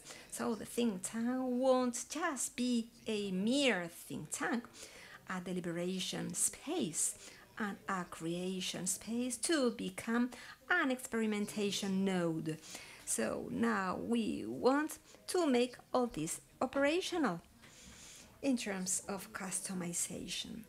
Second big strategy for the future within the think tank. We want to assess and see up to what point the recommendations coming from the white paper, up to what point can they become operational operational within the Agenda 2030? Up to what point are they being integrated? Because the idea is not just to give recommendations from the think tank, we also want to be operational. We become an assessment node to assess social policies, understanding at to what point these recommendations, these 12 recommendations, are going to be developed and implemented. We need to know about that process, and that is why we will be using a method, a methodology, so as to be able to see the transition monitoring. And how are we going to be monitoring this transition to finish, I told you that this was going to be very brief. So, what happens now?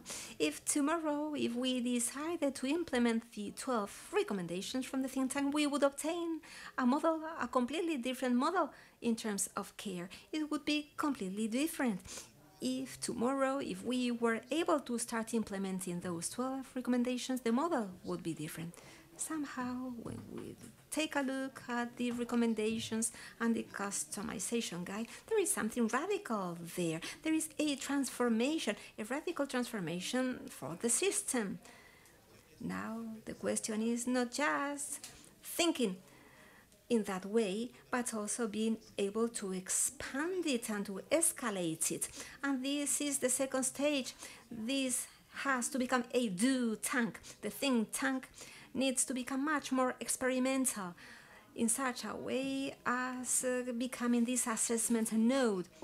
And there is something very important here that we are debating and thinking about is how to structure these assessments. We need to assess not only our quality of living and the social impact coming from these policies, but we also want to assess the transition. How are we changing the model? Up to what point do we have evidences showing that these policies are generating a new model? And that is not just as easy as that. We need to build indicators so as to be able to identify all that. So that is the task that we have ahead of us right now. We want to create and generate different nodes for evaluation. The think is a node. We are inviting international European colleagues to come and work with us from the European perspective. We also have different agents, people, users, trade unions who are who also are part of this node. Therefore, this think tank will become this uh, node, this network how to assess will be key and essential within this transitional model. If we are not able to learn and assess, it will be very difficult for us to produce evidences about the impact that we are generating. So this was my introduction, this was my intervention. I think we are all a little bit tired. That is the idea. We have this transition approach. We have the theory, which is there, we can speak about it if you want. Theories that are above compared to experimentation. That is the field where we are. And um, transition, once again, we are going from one model to a different model based on users, based on people. That is the core, and that is the essential idea within our node in the think tank. This group of experts discussing social policies, you know, this is what we are doing. And that is all I wanted to share with you. But this is going to continue with this experimentation and with this assessment process. And in the 20 next minutes, I would like maybe to see if the committee has any questions because we have this European committee commission integrated by five people five people, five guests who are with us. So now the moment has come for them maybe to make comments or to ask questions about what we are doing. So that is what I propose right now. Those of us, Maite Peña, Carlos Belen, and myself, maybe I would like to invite them to come up here. And now, the moment has come for experts to make their comments or to ask their questions. Thank you very much. Thank you for your attention.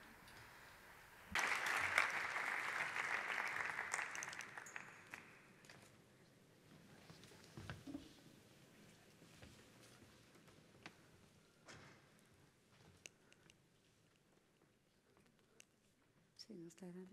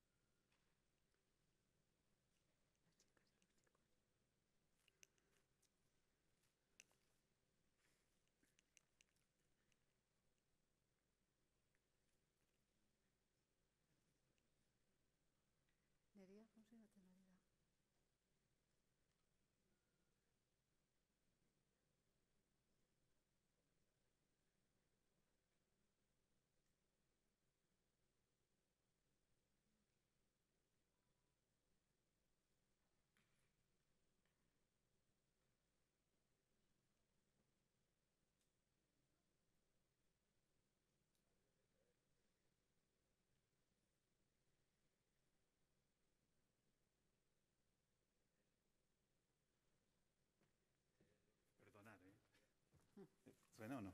Sí. Perdonad que estábamos haciendo el tema.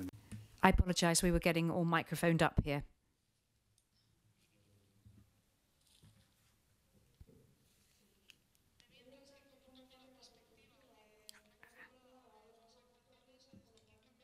Uh, things change. Uh, my perspective has changed by being up here. I was just saying that. We've got some questions from the committee.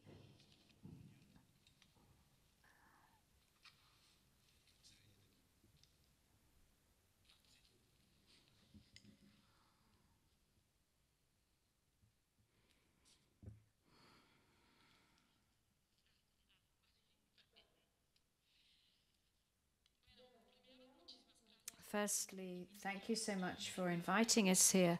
My name's Viktoria Stein. I'm from Austria.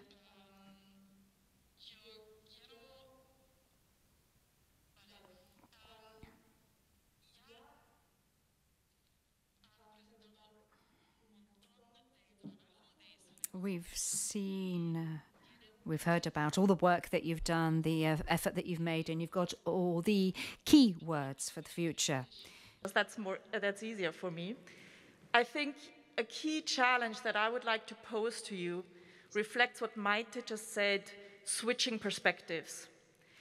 And I think it is very, um, yeah, it, it signifies that actually Javier was the first one who said, and now we're going to include the people. And if you present what personalization means, what person centered care means, with a, um, from a committee of 10 experts, without having the persons and the usuarios included, I think that's already showing something of you're not radical enough. So I think going forward, if you really want person centered services, then you need to have the people included all the way and everywhere. But it may also mean that we actually need to think public administration, sectors, and policies differently. Because it's still the perspective of social welfare. And you have the Organizaciones de Salud Integrada already here. It's the health sector. It's integrated care from the health side. This was presented now as integrated care from the social side. But if we're talking about person-centered care, it shouldn't be the different systems thinking about their perspectives. We should actually look at the person and say, okay, how does one system support this person or this community or this family? And so when you're talking about pensar um, radical, then I think you need to also think about how can we actually experiment with a different organization of the system. Thank you.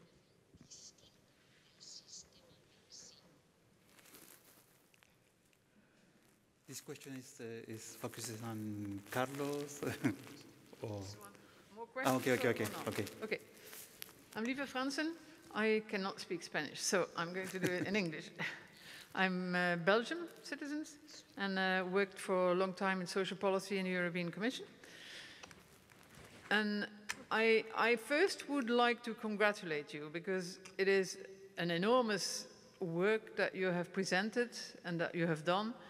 And it's really at the forefront of making social policies and social care work also in the future. But we should not forget that we should be proud about Europe having a social, social policy and social protection systems or social investment systems, which I prefer. And that you are at the forefront of making the transitions that are necessary so we can keep this kind of social protection system that we don't have. I mean, I work worldwide.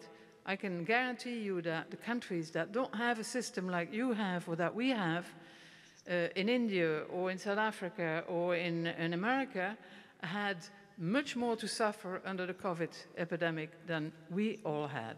So we should keep that in mind because you are at the forefront of making that change that is important for all of us in, in Europe and all of us in the world, actually. So I have a lot of questions, though. One of the questions that I would like to ask is exactly related to how do you propose, and I would like to understand a bit more how you propose to work with health and social. Because at a, at a certain stage, the person is one person. You want to personalize, well, and more and more health is done also through telehealth, for example, under COVID. So how is it possible in your institutional system? Because I don't really necessarily know how your healthcare system is similar. A second question I have, but I have I only going to ask a second question, but I'm very much interested to know a little bit more about your indicators and your outcome or impact indicators. I would have liked to see a situation where you are now. So many people have this kind of institutional care, home care, whatever. I mean, I would like to see the situation with people, not just processes, but so many people. And in in so many years you're going to change that how and with what kind of budget i mean you're talking about budget as if it's an, an afterthought but your, your, your, your ambitions are very great but, and, and very important but who is going to pay for that and how i mean for example the carers if you want to improve their, their, their situation, if you want to improve also the residential care, uh, how, who is going to pay for that and how? Did you have any uh, assessments or calculations on that, or is that an afterthought? Thank you. That's two questions for now.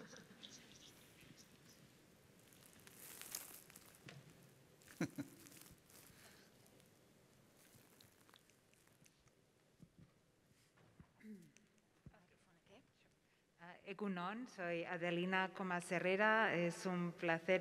Good morning. I'm Adelina Comas Herrera. It's a pleasure to be here. Thank you so much for inviting us to take part in this very ambitious and stimulating uh, process. Congratulations, by the way, to the, the how far you've got so far. I'm going to ask a difficult question, and I know it's a difficult question. I'm aware of that.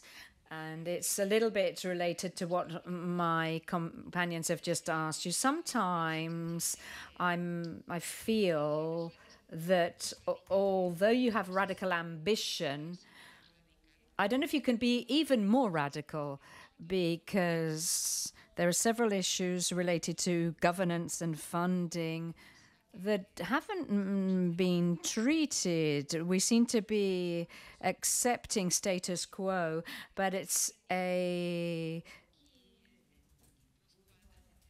a status quo that at a global level is being rethought. We're now rethinking how we should reorganize and fund these care systems, these uh, welfare systems. And although some of these issue, issues, such as the uh, Dependency Act, and I know you've got um, a role to play there in how to define these changes, but I'd like to know a little bit more about this. And my other uh, suggestion is that ambitions and this idea of going from a think tank to a do, do tank, I also think about an analyze tank. So, I mean, how can we maybe make a more visible and analytical side of things, um, a, way of seeing whether this roadmap is being achieved. Uh, what are the indicators in that? What are the data, the information that we need to know whether we are improving the quality of life or reducing inequalities? How can we analyze this information? How, can we know? How can we get the information to know whether we are we're actually meeting these very ambitions? I don't know if uh, I need to say this now or later, but by the way, congratulations.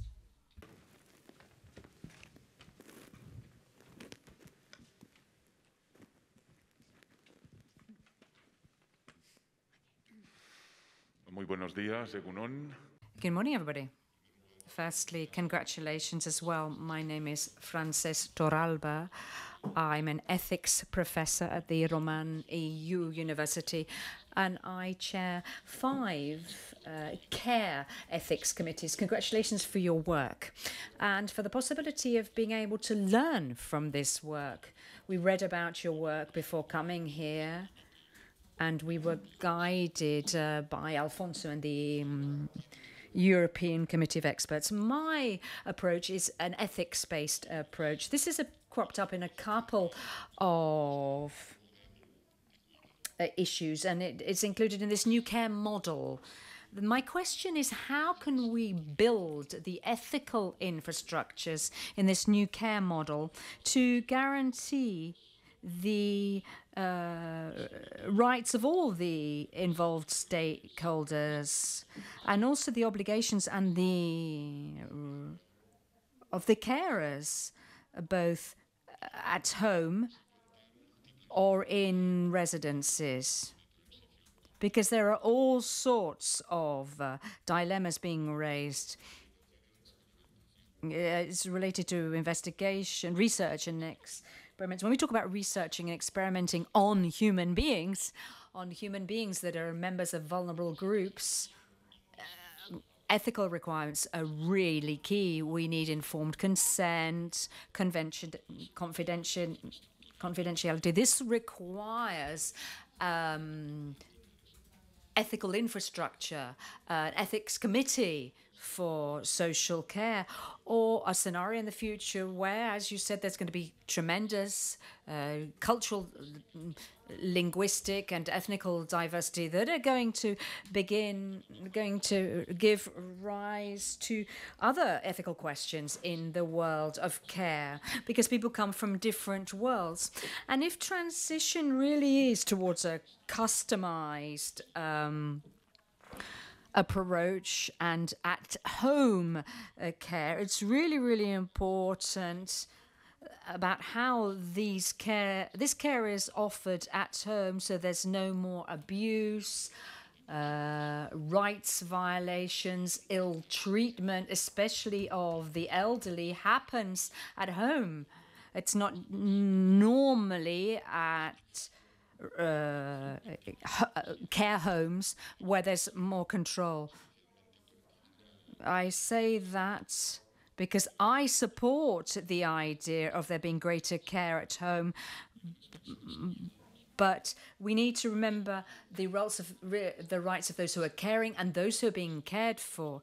So I think there's a need to develop an ethics infrastructure. Perhaps me, this is the weakest link in what I've been able uh, to read quite carefully. By the way, thank you and congratulations.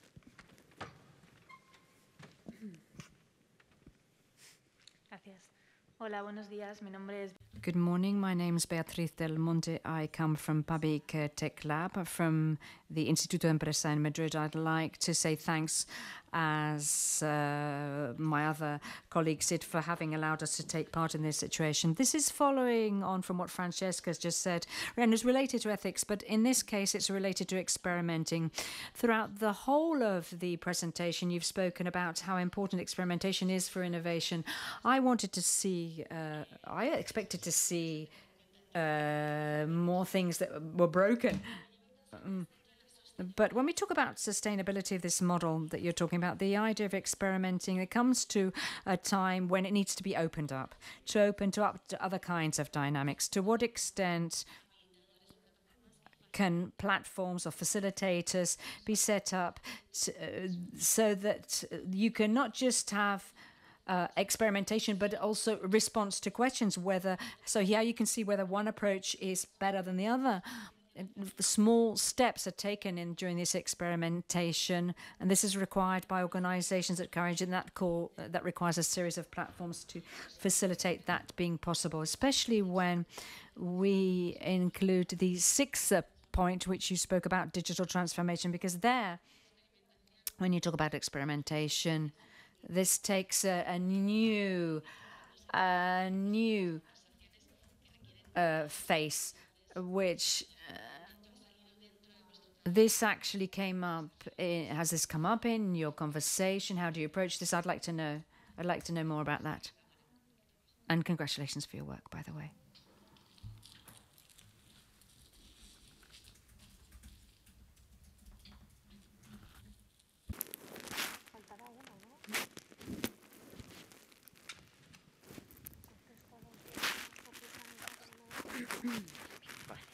Vale, eh, Lucas Gortázar.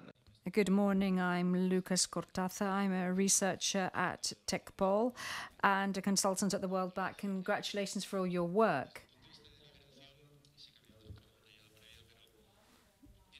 Uh, the process that you've been through is incredibly valuable. And I know when you're talking about it, you're giving results. But I think it's also important to tell about the fact that the whole process has been very collaborative. There are uh, comments that are missing, but I think there's a very positive dimension here of how this process has been set up that involves so many agents and is shared. So, in this sense, towards the future, we need to strengthen the value of the process and see whether we are able to communicate it, get the message across. This is a. Joder, que me estoy. Me está golpeando esto.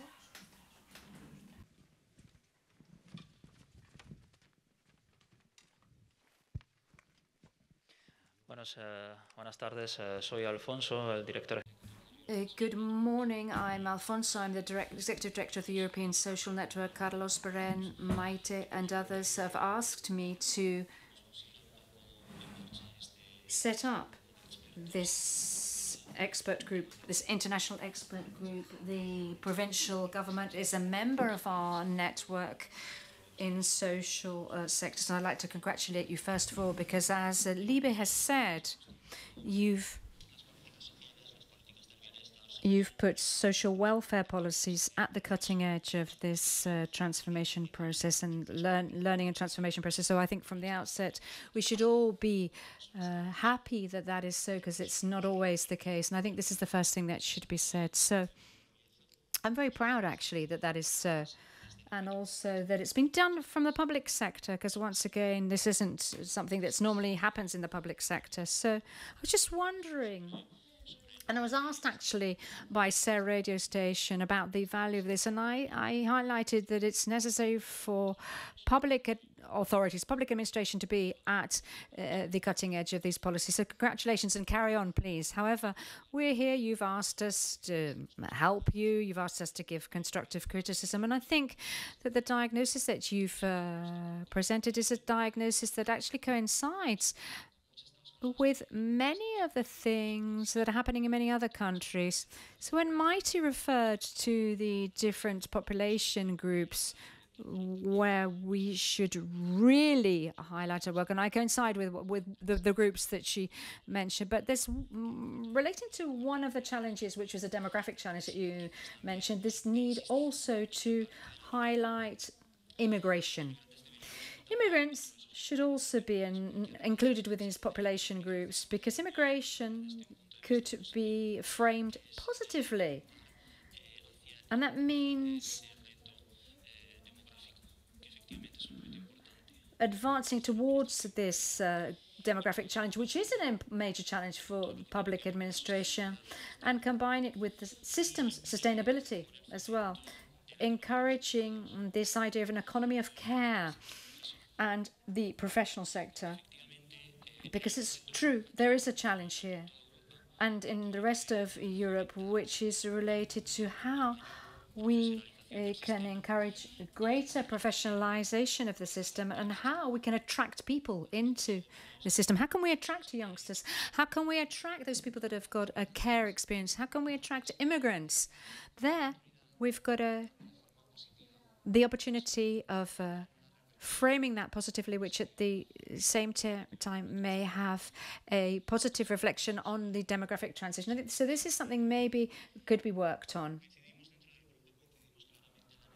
We coincide with your group. We coincide with this need that it, everything be people-centered. So if we've got thing, if we are people-centered, then we need to remember that. And when we talk about evaluation, not just process evaluation, but also results evaluation, the results uh, on the person. So when you talk about um, personalization or customization, we all agree with what you've said when you talk about customization. And I think this is very closely related not just to evaluation, but also quality. Quality sometimes it's considered as like uh, the homologation of suppliers, of um, care homes, but actually it's a lot more than that, and it's closely related to care customization, care personalization. This is something that Francis mentioned. If we talk about uh, personalized care or home care, we need to uh, understand quality from a different viewpoint because quality is a journey. What we understood as quality 10 years ago is not the way we understand quality today. And of course, we need to progress. And people, this idea of personalization, customization needs to be uh, very closely linked to quality in care.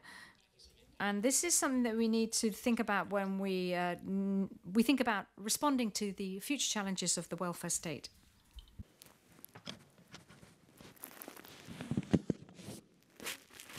Bueno, eh, eskerrik asko eh, por todas las preguntas. Thank you so much for all these questions. They're all very interesting. They're all a challenge.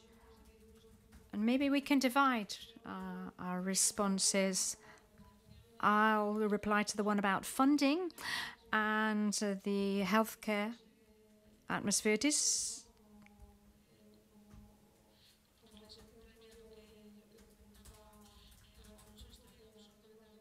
I want to say that I agree with what you said about quality when you spoke about uh, quality. I think quality is closely, closely linked to personalization or customization. This is what we need to look at: quality of the services and how the this service quality can actually improve the quality of life of people. And those indicators that you mentioned, more uh, qualitative indicators are needed rather than quantitative uh, necessary. It's really key. And uh, this is, I feel, our goal, and that's what we're working. And as for immigration, it's true that uh, immigrants haven't been uh, set as one of our target populations because we've uh, linked our target populations to our services and uh, immigrant uh, population isn't within these groups. It is true that we have uh, services that are specialized in uh, immigration, but it's true that we also uh, this also forms a part of more macro policies that work on migration processes, and I think this is key, uh, considering the aging of our population and the this uh, complete uh, change of the population pyramid, the complete reversal. You spoke about funding. Here, there are different sides to uh, funding. Of quite clearly, beyond the fact that, of course, there's going to be a greater need for funding, an increasing need uh, for funding. And this is, of course, due to population aging and the investment that needs to make the this tremendous investment that different departments need to make is huge. We in the provincial government, almost 50% of the province's government is going to be spent almost 50% on social uh, care. And the thing is, we've got a very uh, complicated institutional setup that are like three levels here. You've got the you've got the regional Basque government, the provincial governments, and the city councils. But in this mm, qualitative uh, uh, approach that we're taking, we don't start from scratch. It is true that there are. Um, economic benefits that are given uh, in the field of dependencies. There's home help, there are daycare centres. Each of these resources, these what we call resources, are funded. Uh, but the leap that we want to take is to articulate all these different systems and articulate them so that they are um, are able to be person centered. And what we've uh, detected is that this is more expensive. At the outset, we're seeing that this is more expensive. Of course, at the end, you offer better uh, quality care, but it it's more expensive. That isn't actually a problem per se. There's no there's no problem with the sustainability of our proposal. The sustainability of social services is something that is predates all of that. And in fact, we raised this issue in the previous uh, period of government. Who has to pay for this? Uh, how is it? Uh, how should it be paid for? To what degree uh, should it be funded by the youth themselves? What about co-payment? How can we use taxation to assist in this idea of uh, co-payment? But this is a more macro level um, debate. We can't wait for that to be solved because there is many, many complications and we still can't see a short-term solution. What can we do?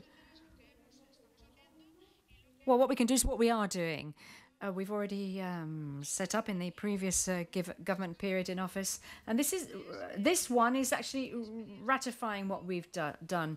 We've started about we started with our pilot projects that have funded. Initially, it was just provincial funding, and these have been giving results. So it's thanks to you this idea of collaborative governance, and that that is behind everything that we do. Why do I say that? Because we, uh, institutions, are prepared to invest more, undoubtedly. We shouldn't forget that, of course, we can't have all of the provinces uh, budget being spent on social and healthcare services. But actually, when we, our experience has shown us that when we work with institutions, for example, primary healthcare institutions and others, if behind the experimental uh, project that requires great investment, to provided there's an improvement in quality, then people are prepared to invest more. And we've actually made a um, huge leap forward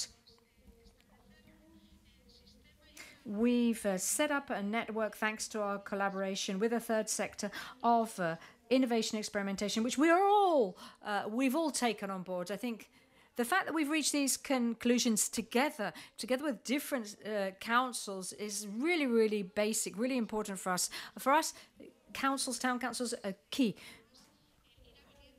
The rest will come over time, but what we are clear on is that we can't just sit and wait and sit and wait for funding solutions to appear on the horizon or for funding to be clarified or for measures that can be uh, uh, set up to, to start doing things. We can't wait for that. We need to start doing. I gave the example of the local care ecosystems because I think it's really, really interesting. Interesting how, at a micro level, in the healthcare field, we are able to articulate different systems around a person's needs and how, at a micro level the evaluations that are uh, made really do make up for the investment that's made. The, we've got uh, healthcare areas where we uh, debate. There are um, provincial councils. We've got healthcare. Uh, governance, in theory, very, very well articulated. What we're lacking sometimes is practice. We're lacking um, for uh, practical coordination at a personal level, and this. But actually, and this is our experience anyway. But this we we do get better at a micro level. When you're in a little neighborhood in a little town, that's where we uh, are obtaining excellent results. And it may well be via uh, mm, showing the results that we're able uh, to achieve, we can perhaps attack attract different stakeholders to this way of working. We feel that so far, with the rules of the game that we've set out for ourselves, um, where we don't have uh, the possibility of uh, changing them. We're, we're, hoping that this will happen. And um, collaborative uh, governance in healthcare, but not just in healthcare, we, what we want to do is to get these projects right down to your your own um, GPs, surgery, where you can really get the coordination from the different systems. It's far more complicated when we talk about mainstreaming in it. Not, for example, mainstreaming it into housing. Housing isn't necessarily something that should come into uh, social services, but we do need to help people that are in housing. And the same goes for education. Estamos eh, realizando, la verdad, dificultosos. These are roadmaps that we're following with these three systems. It's different with the different institutions. It's also difficult.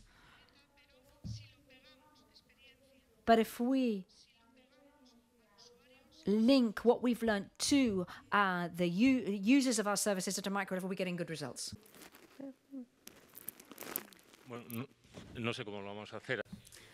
Well, I am going to try and reply to some of the comments or questions. You were talking about how important it is to have the users on board and to listen to them. That's what we try and do. Whenever we create a pilot project, then we have been assessing whether that intervention has improved the quality of living of users or not. And up to this moment, that has always been the case. The intervention has always improved their quality of living. And also, we have carried out a cost effectiveness analysis. The idea is to be able to show how, in the long term, that is also an investment because we are reducing social expenditure elsewhere. Indicators, yes, indicators are important in terms of the agenda when we say that care at home is important. We have been trying to see if the rate today represents 80% at home, the challenge is to reach 87% by the year 2030 care being provided at home. Or when we say that we want to desinstitutionalize this care provided, we say by the year 2023 or 2030, let's try and make it possible that 10% of all the uh, that is to improve this by 10%. Once you will get to know better about the project, assessment is not just marketing. No, it is essential for us in terms of learning, and for us it is essential beyond terms and words. We want to reach those objectives. Something that worries us is uh, home care care being provided at home. And we have carried out 8,000, 10,000 inspections at home because we have an agreement with city councils. And it is true that in certain cases, in a very low percentage, the care being provided was not good, and we have tried to improve it.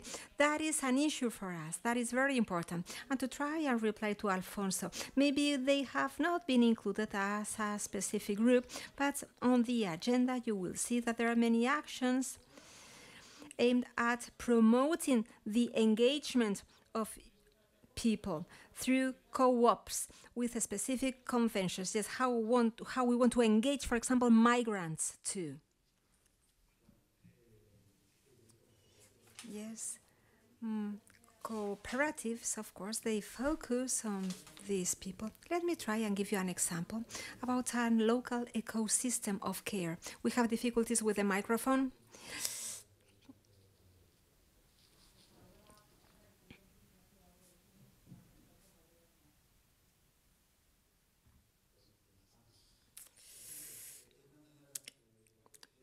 Let me try and give you an example. We have an ecosystem in Pasaia, this municipality in the province in Guipúzcoa, and there we're implementing a collaborative governance process where we have a group within this pilot project integrated by the Department of Health, the Department of Social Health, Social Policies, and the City Council.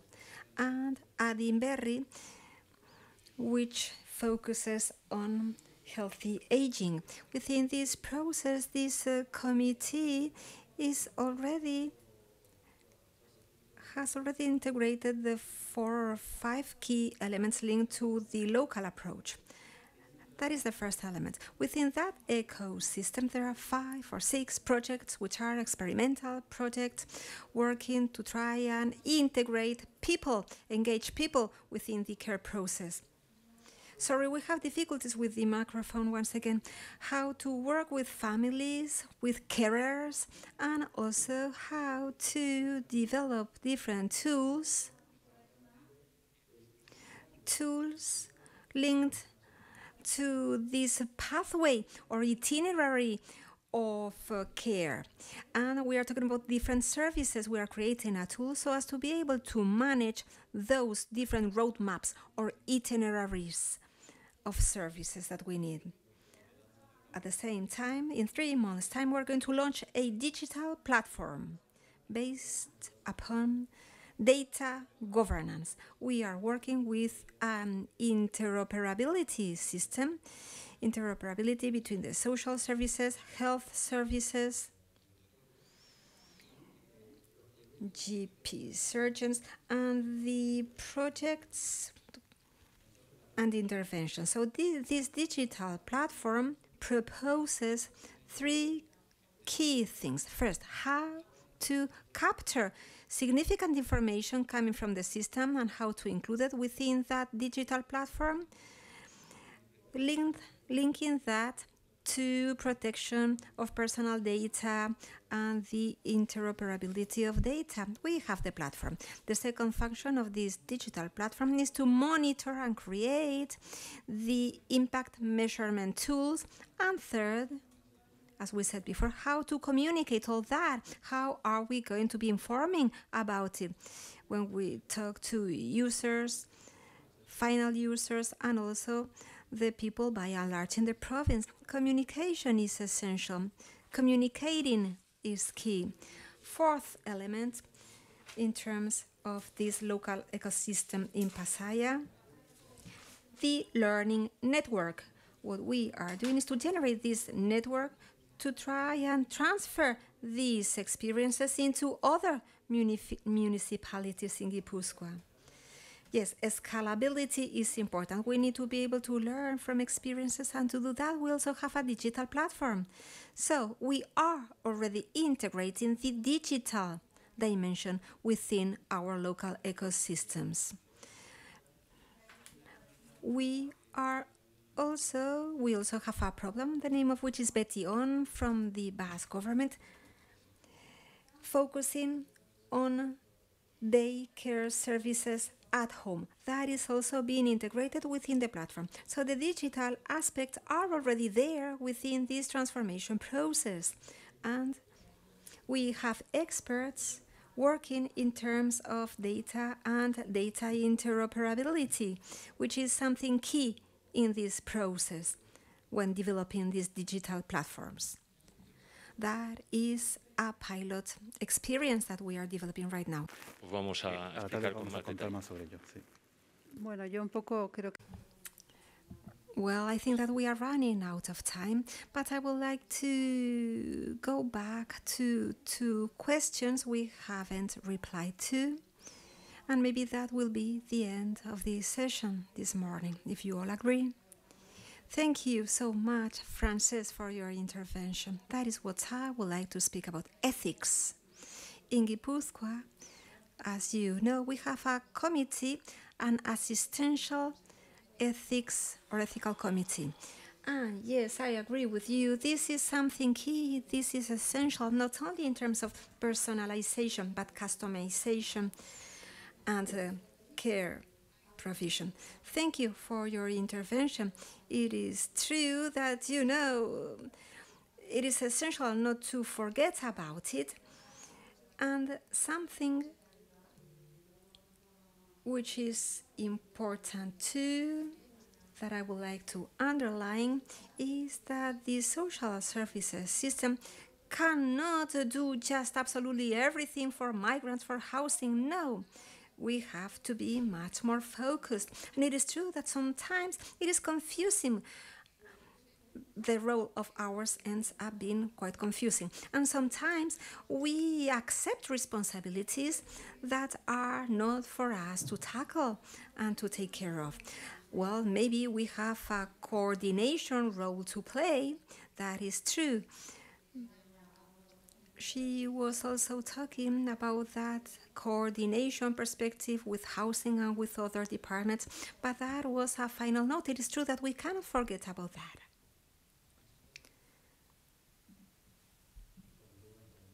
Doubts. Well, we could have so many doubts, but thank you. Thank you very much for your contribution and for your presence. I think, yes, we are absolutely out of time.